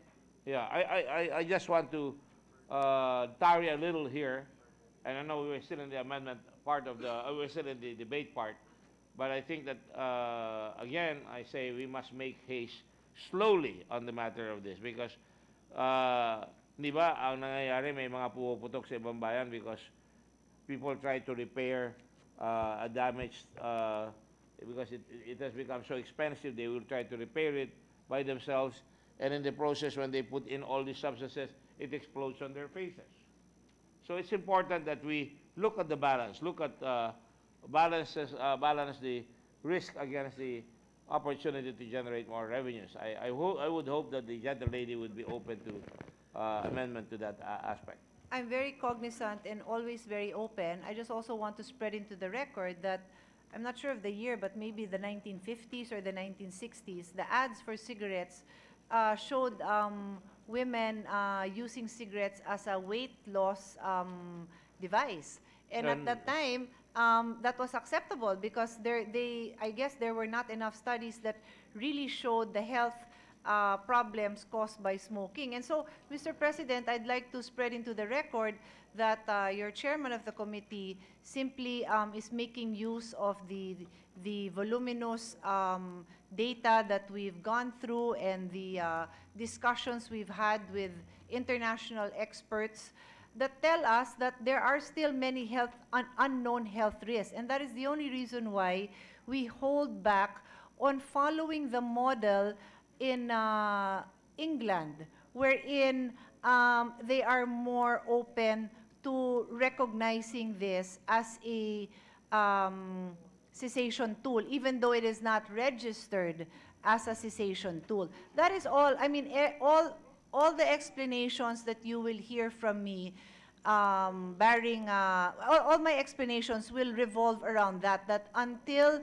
there are further studies, and that is what all the experts say, we just have to move with caution. And with caution means don't automatically treat it as a a product that you know is the solution to to cigarette smoking. Let us not forget, and this has always been under the radar when uh, when um, these e-cigarettes came into the market. We have other cessation tools available. And so Uh, they should, and, and in fact, the study presented no less than the health, than the e-cigarette advocates in my meeting in uh, London, um, were, I, I wouldn't want to say rebutted, but the study they showed were further clarified by behavioral scientists that were invited to attend that meeting to say that the decline in smoking was cannot necessarily be attributed to e-cig use because it does not reflect other cessation tools that the smokers were using. So I'm just putting, sharing and putting on record the information that your representation, your chairperson learned while, while trying to give the best possible recommendations to the body. Well, there are a couple of things, maybe three things that I'd like to react on that one. Number one, uh, that in, the, the introduction of uh, advertising that says uh, it made women uh, look chic or And it was lose a weight, weight, it and was a weight, to lose weight. a weight loss uh, advertising Yes. that collided with uh, a law later on that will be called the Truth in Advertising Law.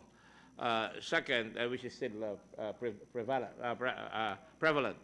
And then the other matter of, uh, you know, the, the, you know, Madison Avenue USA, or Park Avenue, if you like, uh, they, they come out with all kinds of uh, goodies, like uh, Marlboro Man, who obviously died later on uh, from smoking.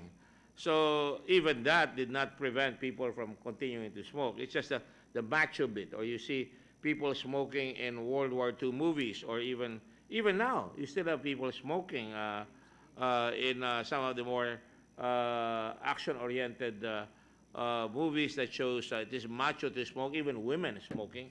In fact, even now it's worse. They they, they use weed or they snort in the middle of the cameras and show it to everybody. So again, I, should say there must be a holistic approach to all this. But uh, in reality, uh, we are really talking here, uh, like I said a while ago, of uh, raising taxes, but at the same time, uh, not throwing the baby with the, ba- with the bath, and that's, uh, you know, to use a cliche, let's not kill the golden eggs because we will end up having less taxes. On that note, Your Honor, I, I'm glad that some of our uh, colleagues are here. I know they've been listening in the refectory as I was a while ago, but I'm happy to terminate my uh, interpellation with thanks to the gracious lady for her time. I know it's uh, kind of tiring when you're presenting a system here, a new system at that, uh, and I thank her. Thank you very much, Mr. President. I also thank the gentleman from Olongapo for his questions and uh, spreading into the record some concerns and his insights are always welcome. Thank you, Mr. President. Thank you, Mr. President. Mr. President, we thank the, Senator gen- yes. we thank the gentleman from uh, Zambales for his uh, interp- interpretation, uh, interpellations, Mr. President, rather. Mr. President, um, our other members are still asking for more time. Tomorrow, we'll open it up again uh, for interpellation, first hour. Uh, But with that, uh, Mr. President, I move that we suspend consideration of Senate Bill number 1074, Mr. President. Any objection? Hearing none, consideration suspended. Mr. President, I move to, to uh, resume consideration of Senate Bill number um, 643 on the committee report number 13. I so move, Mr. President. Any objection? Hearing none, consideration is in order. This is an act granting night shift differential pay to government employees. Uh, uh, And may we rec- recognize, Mr. President, Senator Bong Revilla to sponsor and to interpellate a distinguished minority floor leader, Franklin So Drilon. the parliamentary status, we are in the period of interpellation. That's The correct, sponsor, Senator Bong Revilla um, Jr. is recognized and um, the minority leader, Senator uh, Frank Drilon, is uh, recognized to interpellate. The sponsor, Mr. President, had asked for just a one-minute suspension to ask his staff to In the meantime, session is suspended.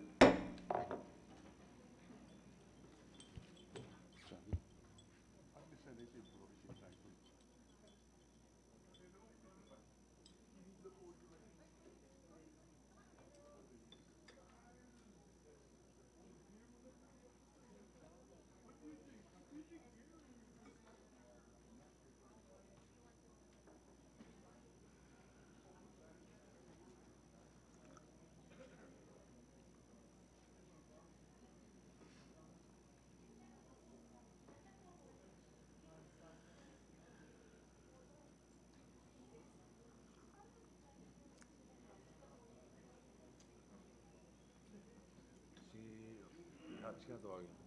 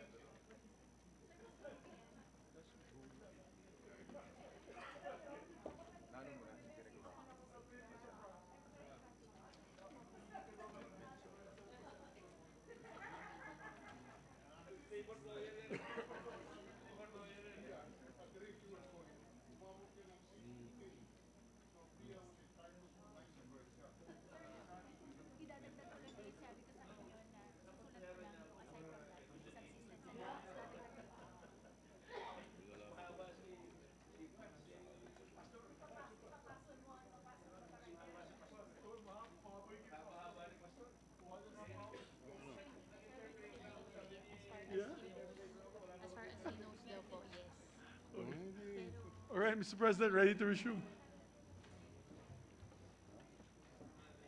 Session resumed. Mr. President. Yes, uh, you may proceed. Thank you. May- Will the gentleman sponsor yield to a few questions on the spirit of interpretation? Yes, Mr. President, uh, it's an honor and privilege. Uh, Mr. President, uh, we will avail of the period of interpellation to clarify certain issues.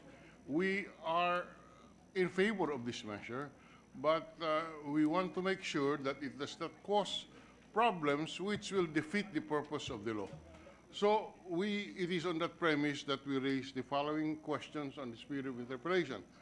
On section one, on coverage, it says, section one, government employees, including those in, in government-owned and controlled corporation, whether, wh- whether the nature of their employment is permanent, contractual, temporary, or casual. The first question is, up to what grade level would this apply? Uh, the, the cabinet secretary, is entitled to like differential pay, Mr. President?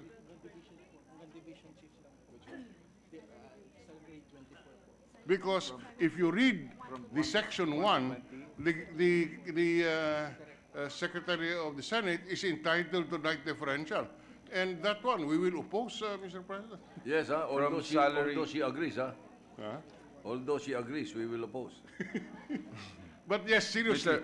seriously, the definition on section one is so broad so that it includes everybody. From sal- uh, the answer, Mr. President, is from salary grade one to salary to, to, to 24. Grade, salary grade one To 24. To twenty-four. 24 and below. Okay. Up to uh, division chief uh, level, Mr. Okay, President. so it's uh, up to salary grade 24.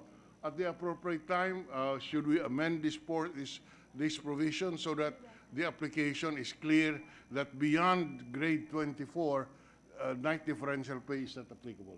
We welcome that, uh, Mr. President. And the premise we assume, Mr. President, is that beyond salary grade 24, it is in, they, they are considered as supervisory employees? Is that what it Yes, means? Your Honor. Yes, Mr. President. Okay, so at the appropriate time. Now, next question on section one. It says, uh, the, the, uh, government employees shall be paid night differential pay at the rate not exceeding twenty percent of their hourly basic rate. Who determines, uh, who, who determines the amount, the rate, if it's, because it says not exceeding twenty percent, so nineteen percent, eighteen percent, fifteen percent, who determines that, uh, Mr. President? It's the agency, Mr. President, as long as that it, it will not exceed 20%. The head of the agency. That's correct. Okay, And at, at the appropriate time, that will, this provision will be amended, I assume. And, and usually, Mr. President, the, the, the uh, finance office Sorry? of the agency.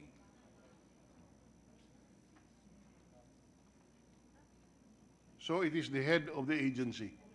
That's correct. Uh, in the case of, of, of the Senate, it is the Senate President.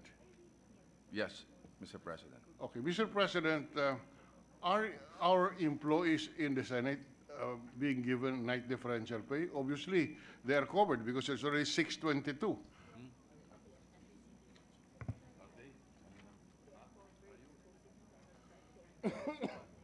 No, up- according to the Senate Secretary, no. No, they're not. Actually, Mr. President, they are covered, but they are not receiving the night differential. Sorry? They are covered, but they are not receiving the night differential pay. They are covered, yes. Under this definition, they are covered, sir. And uh, are, are we saying that our people here are not being paid that dif- night differential?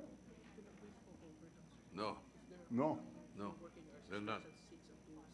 So once we pass this law, uh, it is that the only They will time? benefit. As long na pasok po sila from 6 o'clock PM up to 6 AM.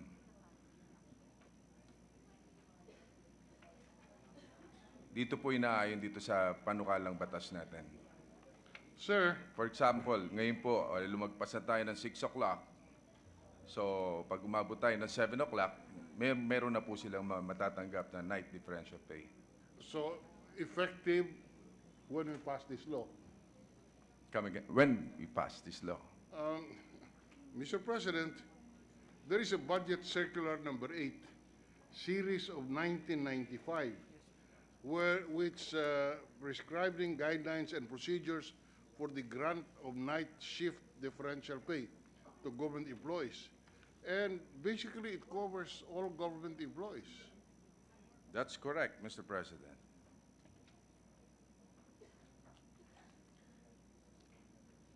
Asan ba yung ano? Um, Well, just to make it clear, this, uh, With this bill, uh, Mr. President, we, we- just want to institutionalize ito pong uh, benisyo- benepisyo na natatanggap natin. Ano? Uh, in private sector, ang night shift differential pay ay nasa labor code na po. Pero para po sa mga empleyado ng gobyerno, wala pa silang kaakibat na, na batas. Ang circular pa, pa kasi po ay madali pong baguhin, but ang issuance no authority. With the passage of this measure, only act of Congress can amend or repeal it, Mr. President. Wha- My problem, sir, is that my reading uh, under 5.1 of the budget circular, uh, number eight, series of 1995, uh, it would appear that the, uh, that the uh, circular, well, it's not, it's not compulsory but directory, night shift differential may be granted to government employees at the rate not exceeding 20% of the hourly rate. So it does not establish the right uh, to night differential, but it authorizes Correct. the grant of the night But with this, uh, with this law, it's mandated na It's obligado mandated. po. That's correct, Mr. Okay. President. Na- That's where, that's, that's why we are asking these questions, to make sure that the law achieves its purpose and not create problems. Um, We note that uh, the, uh, uh, that the- there is a committee amendment, instead of saying uh, that the hours of work, uh, that, that, that the, that the work between uh, 10 o'clock in the morning um, Six, six o'clock in the morning. no, the, the, your, your, the bill says, starting at, uh, shift between, uh, if you look 10 at p. line four and five, it says twenty percent of the hourly basic rate of the employees for each hour of work performed between ten o'clock in the morning and where? Wala pong nakalagay.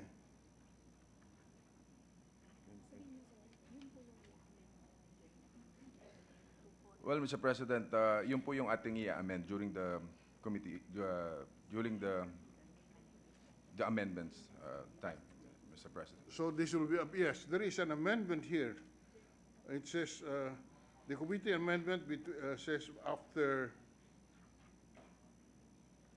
the word between amended to include the hours of six PM and six AM of the following day.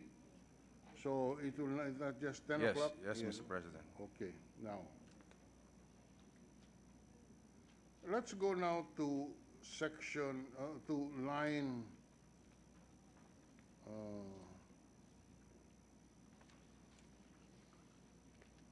line fourteen, section two on page one.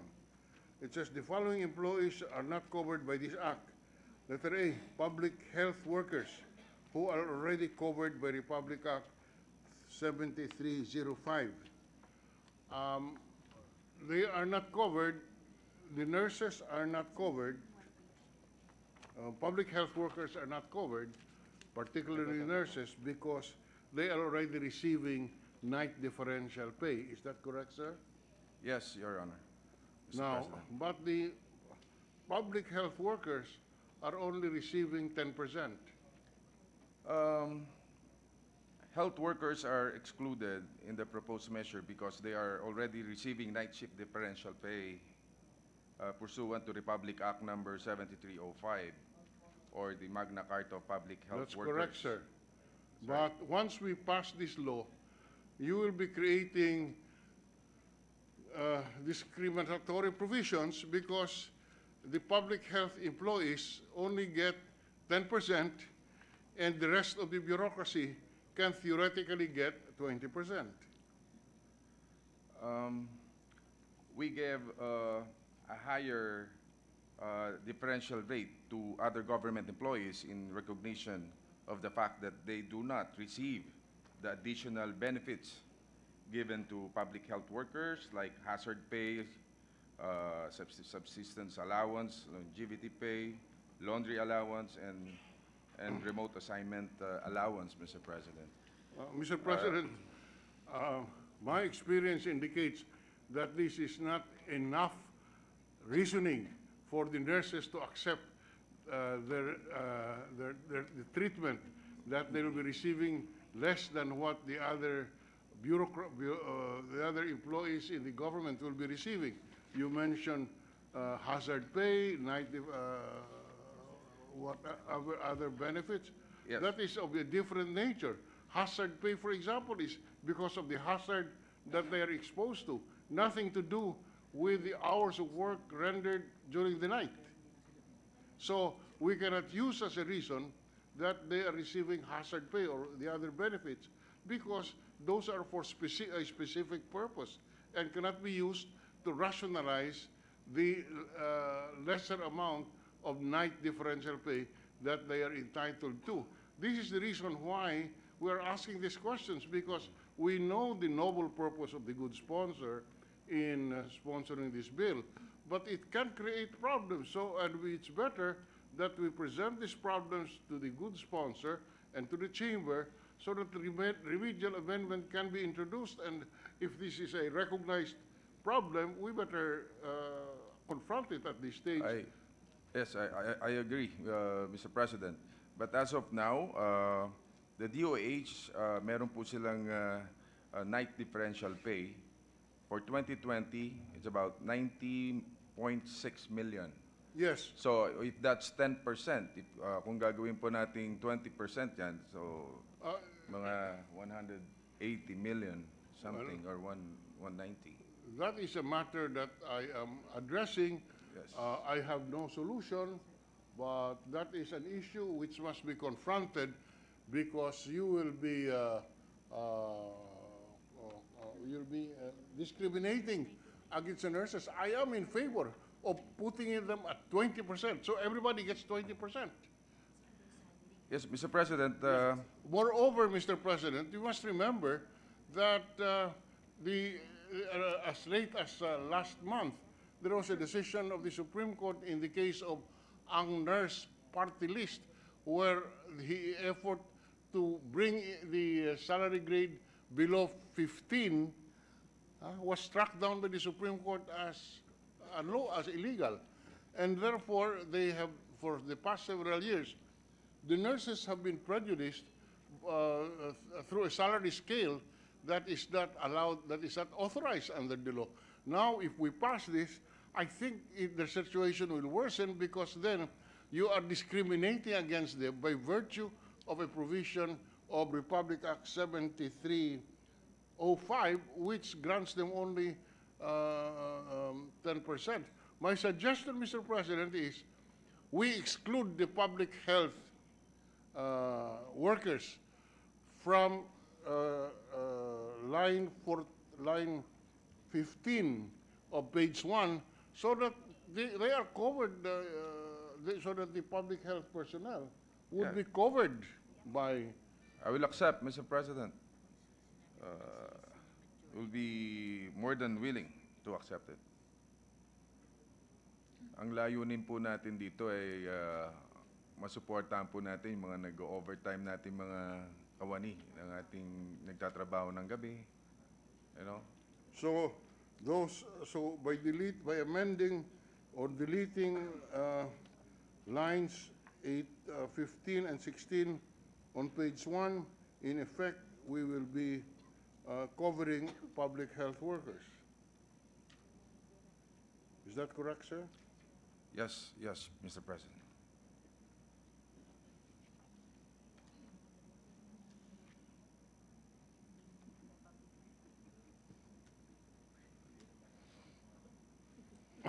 Now, um, on line 16 of line page 16. 1, there is a proposed committee amendment by adding a second paragraph. And let me read the committee proposal. Uh, The following personnel are not covered by this act. Government employees whose schedule of office hours fall between 6 a.m. to 6 p.m.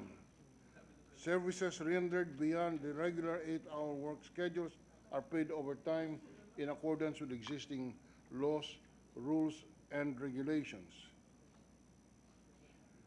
So if your, this means that if your regular office hours fall between 6 a.m. to 6 p.m., you are not entitled to the night shift differential. Is that understanding correct, sir? Yes, yes, Mr. President. Uh, if- Why is that so, What they will receive is overtime, Why is overtime why- pay. May we ask, sir, why are we excluding these employees when it is a night differential and their work falls at night? So, yan 8 hours talaga po by law ang binibigay po natin sa overtime pay. So, may DBMC Their work falls at night, but if it's 6 a.m. to 6 p.m., I'm sorry. that's not included. Yes, Mr. President, kung ang pasok po nila... I'm sorry, sorry, I take that back, sir. All right. Oh, you you take it back? Okay na. Ah, okay. So if they work beyond, beyond 6 p.m., even if it's regular hours, they are entitled to night shift differential. Is that No, correct, sir? no, no, sir. Huh? Overtime pay po yan. Overtime pay. In other words, Ang covered lang po nung dito sa ating measure is from 6 p.m. to 6 a.m. Okay. the following day.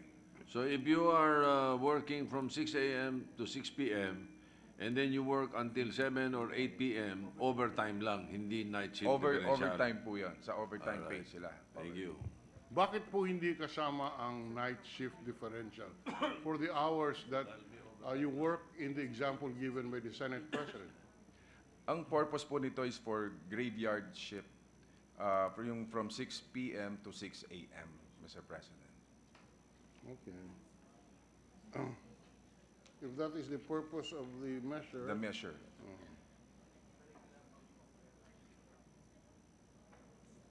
Mm-hmm. Okay. I want to give us an example, our schedule of work in the Senate.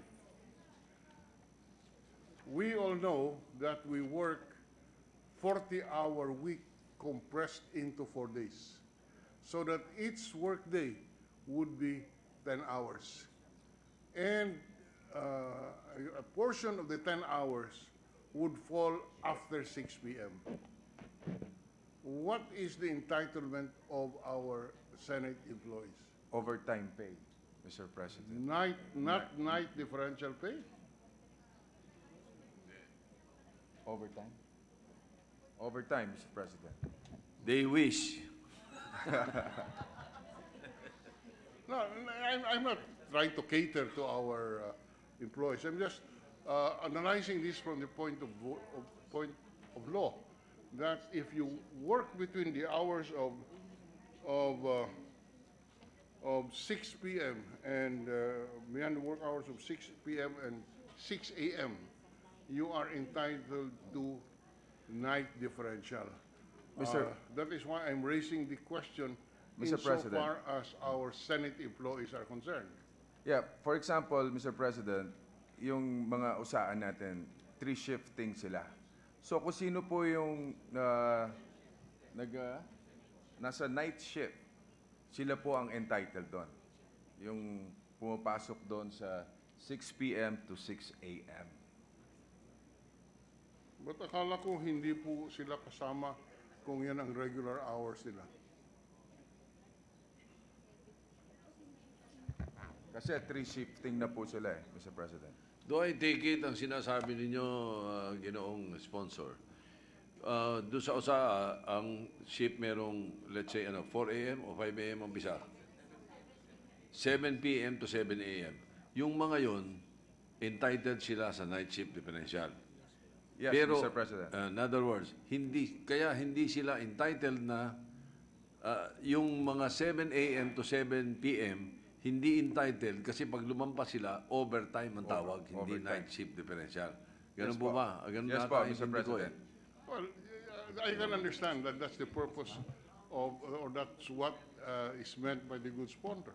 I just want to point out that a night shift differential is paid because they are in the night work. And- Correct, Mr. President. And uh, therefore, it is not enough justification that because, that they are not entitled to it because they're already working overtime, they're paying paid overtime. That's, that rationale that's not, is not valid, uh, Mr. President. That's all we were saying. Uh, But uh, again, we are just uh, looking at the proposal of the good sponsor, um, whether or not uh, that's uh, valid or that, that, that policy is good policy, I leave that to the chamber. Now, the third exclusion, Mr. President, are government employees whose services are required or are on call 24 hours a day, such as uniformed personnel of the armed forces or the AFP, PNP, uh, Bureau of Manage, Bureau of Jail Management and Penology, and Bureau of Protection. In other words, the military and uniformed personnel are excluded from the coverage of the law. That's correct, Mr. President. Now, but the law uses the word such as, and this is an enumeration as an, uh, uh, by example. Are there other uh, uh, employees who could possibly be excluded? Or is this enumeration exclusive?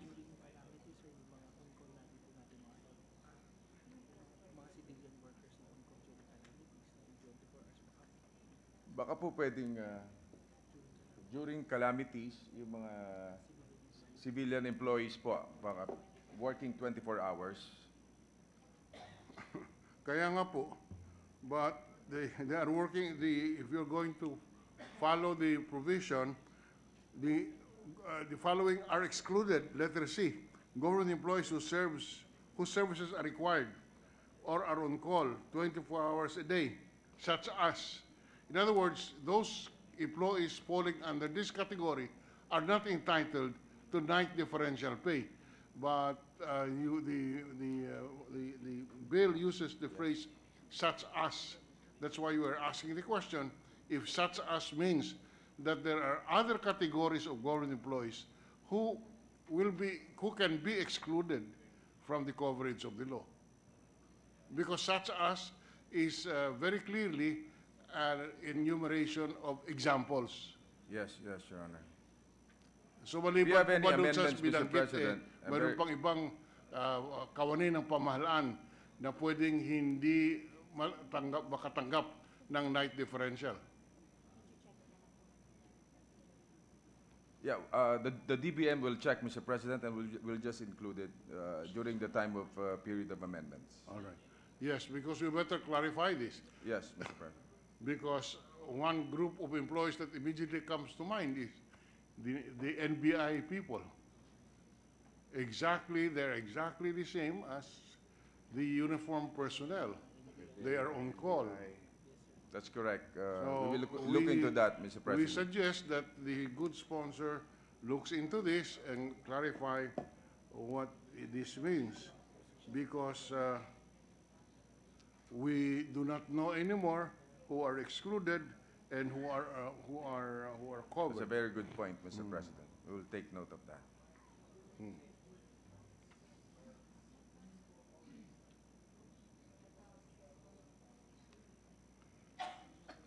Uh, Would the measure apply to those who work on shifts, whether on temporary or permanent basis? In other words, uh, the, the way I recall the answer, they are not covered if they are on shifts? Or am I wrong, sir? They, they, they are, they are covered, Mr. President. Uh, They are covered. Just, I- uh, uh, uh, uh, as long as as the long the shift is at night, from six to, Six PM. to six AM, Mr. President. they are covered. They are covered.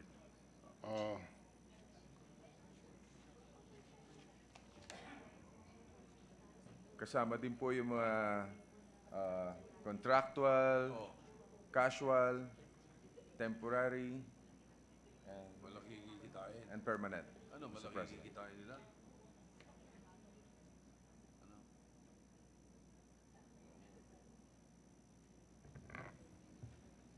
The gentleman from uh, Sambales is all smiles. Because the, if it passes that way, if the bill passes that way, the people from the Blue Ribbon Committee will have overtime and night shift differential pa. And vacation leave. And vacation leave. Eh, parang ayaw pumayag ng mga iba. In fact, uh, just earlier, Mr. President, Senator Pia Cayetano was entitled to night differential because Senator Gordon was interpellating her. But the agreement, sir, was that Senator Gordon was going to pay for it, not the Senate. Anyway, Mr. President, uh, just to make it light for a while. Yes.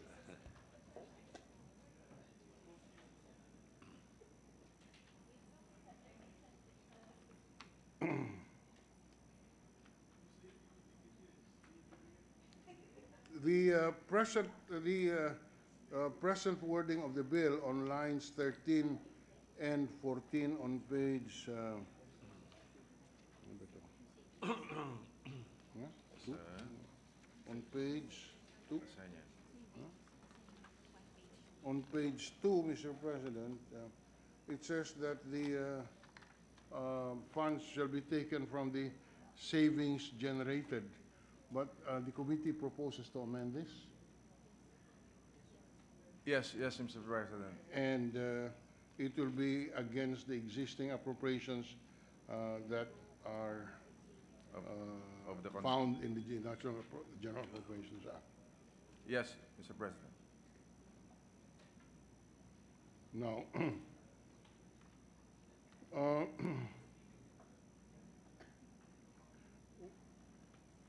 would um, government employees uh, um, who are civilians uh, working in the National Disaster Coordination Council entitled to night shift differential if they perform work during calamities beyond uh, their, or during the, the uh, hours uh, prescribed uh, by law as being entitled to night differential? They're in, yes, uh, yes, Mr. President, they are entitled sa night shift po.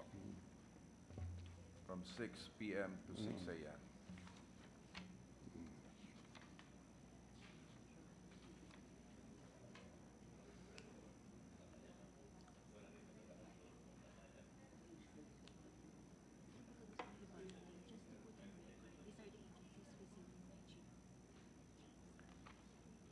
Just want to put on record, Mr. President, ito po yung mga tumatanggap na ng night shift di- differential pay, DND, yung mga Government Arsenal Veterans Medical Center, sa DOST, Pag-asa Pillbox, DOTR, Philippine Coast, uh, Coast Guard, and other executive offices, TESDA. Uh, Mr. President, uh, record, Mr. President. uh, I think we have raised all the concerns that we have.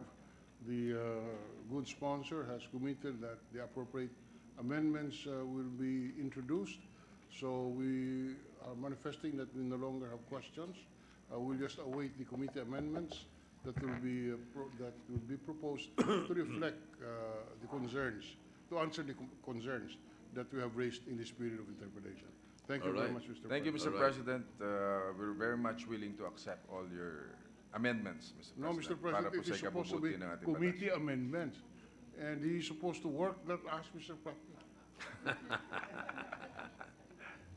All right, well taken. Uh, the Majority Leader. Thank you, Mr. President. Uh, Mr. President, uh, with that, I move that we suspend consideration of Senate Bill number 643. Any objection?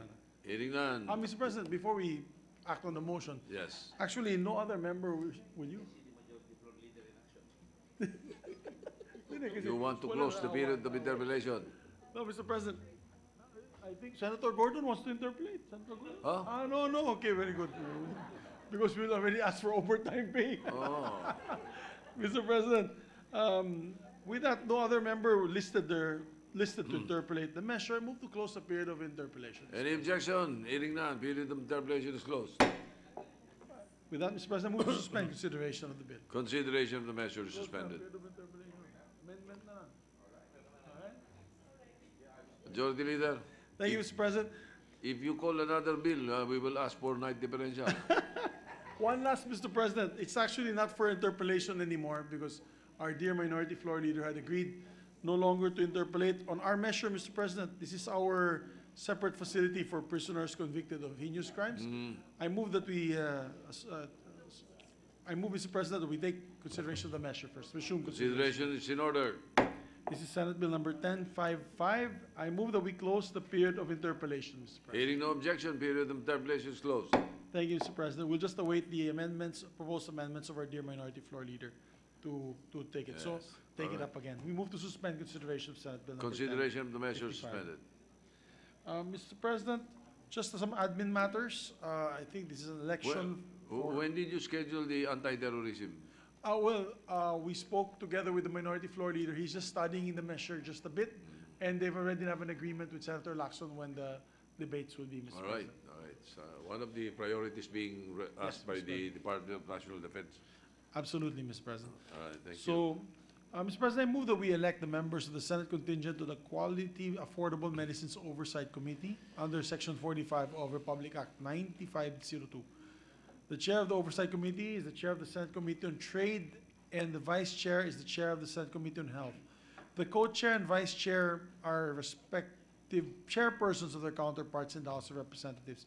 Mr. President, I move that we nominate and elect the following senators as members. Uh, Your, your, your team, Mr. President, so I, Yes, we hereby designate Senator uh, Maria Lourdes Nancy Binay, Senator Pia Cayetano, and Senator Risa Hontiveros as uh, uh, members of the uh, committee, Oversight Committee. thank you, Mr. President. Uh, No other matters, Mr. President? No All right. other listed matters? Do we have uh, additional reference? Wala na. Tomorrow na. Uh, Mr. President, I move that we adjourn session until 3 o'clock in the afternoon, Wednesday, November 27, 2019. So, Any objection? Hearing none. Session is suspended until 3 o'clock in the afternoon of Wednesday, November 27, 2019.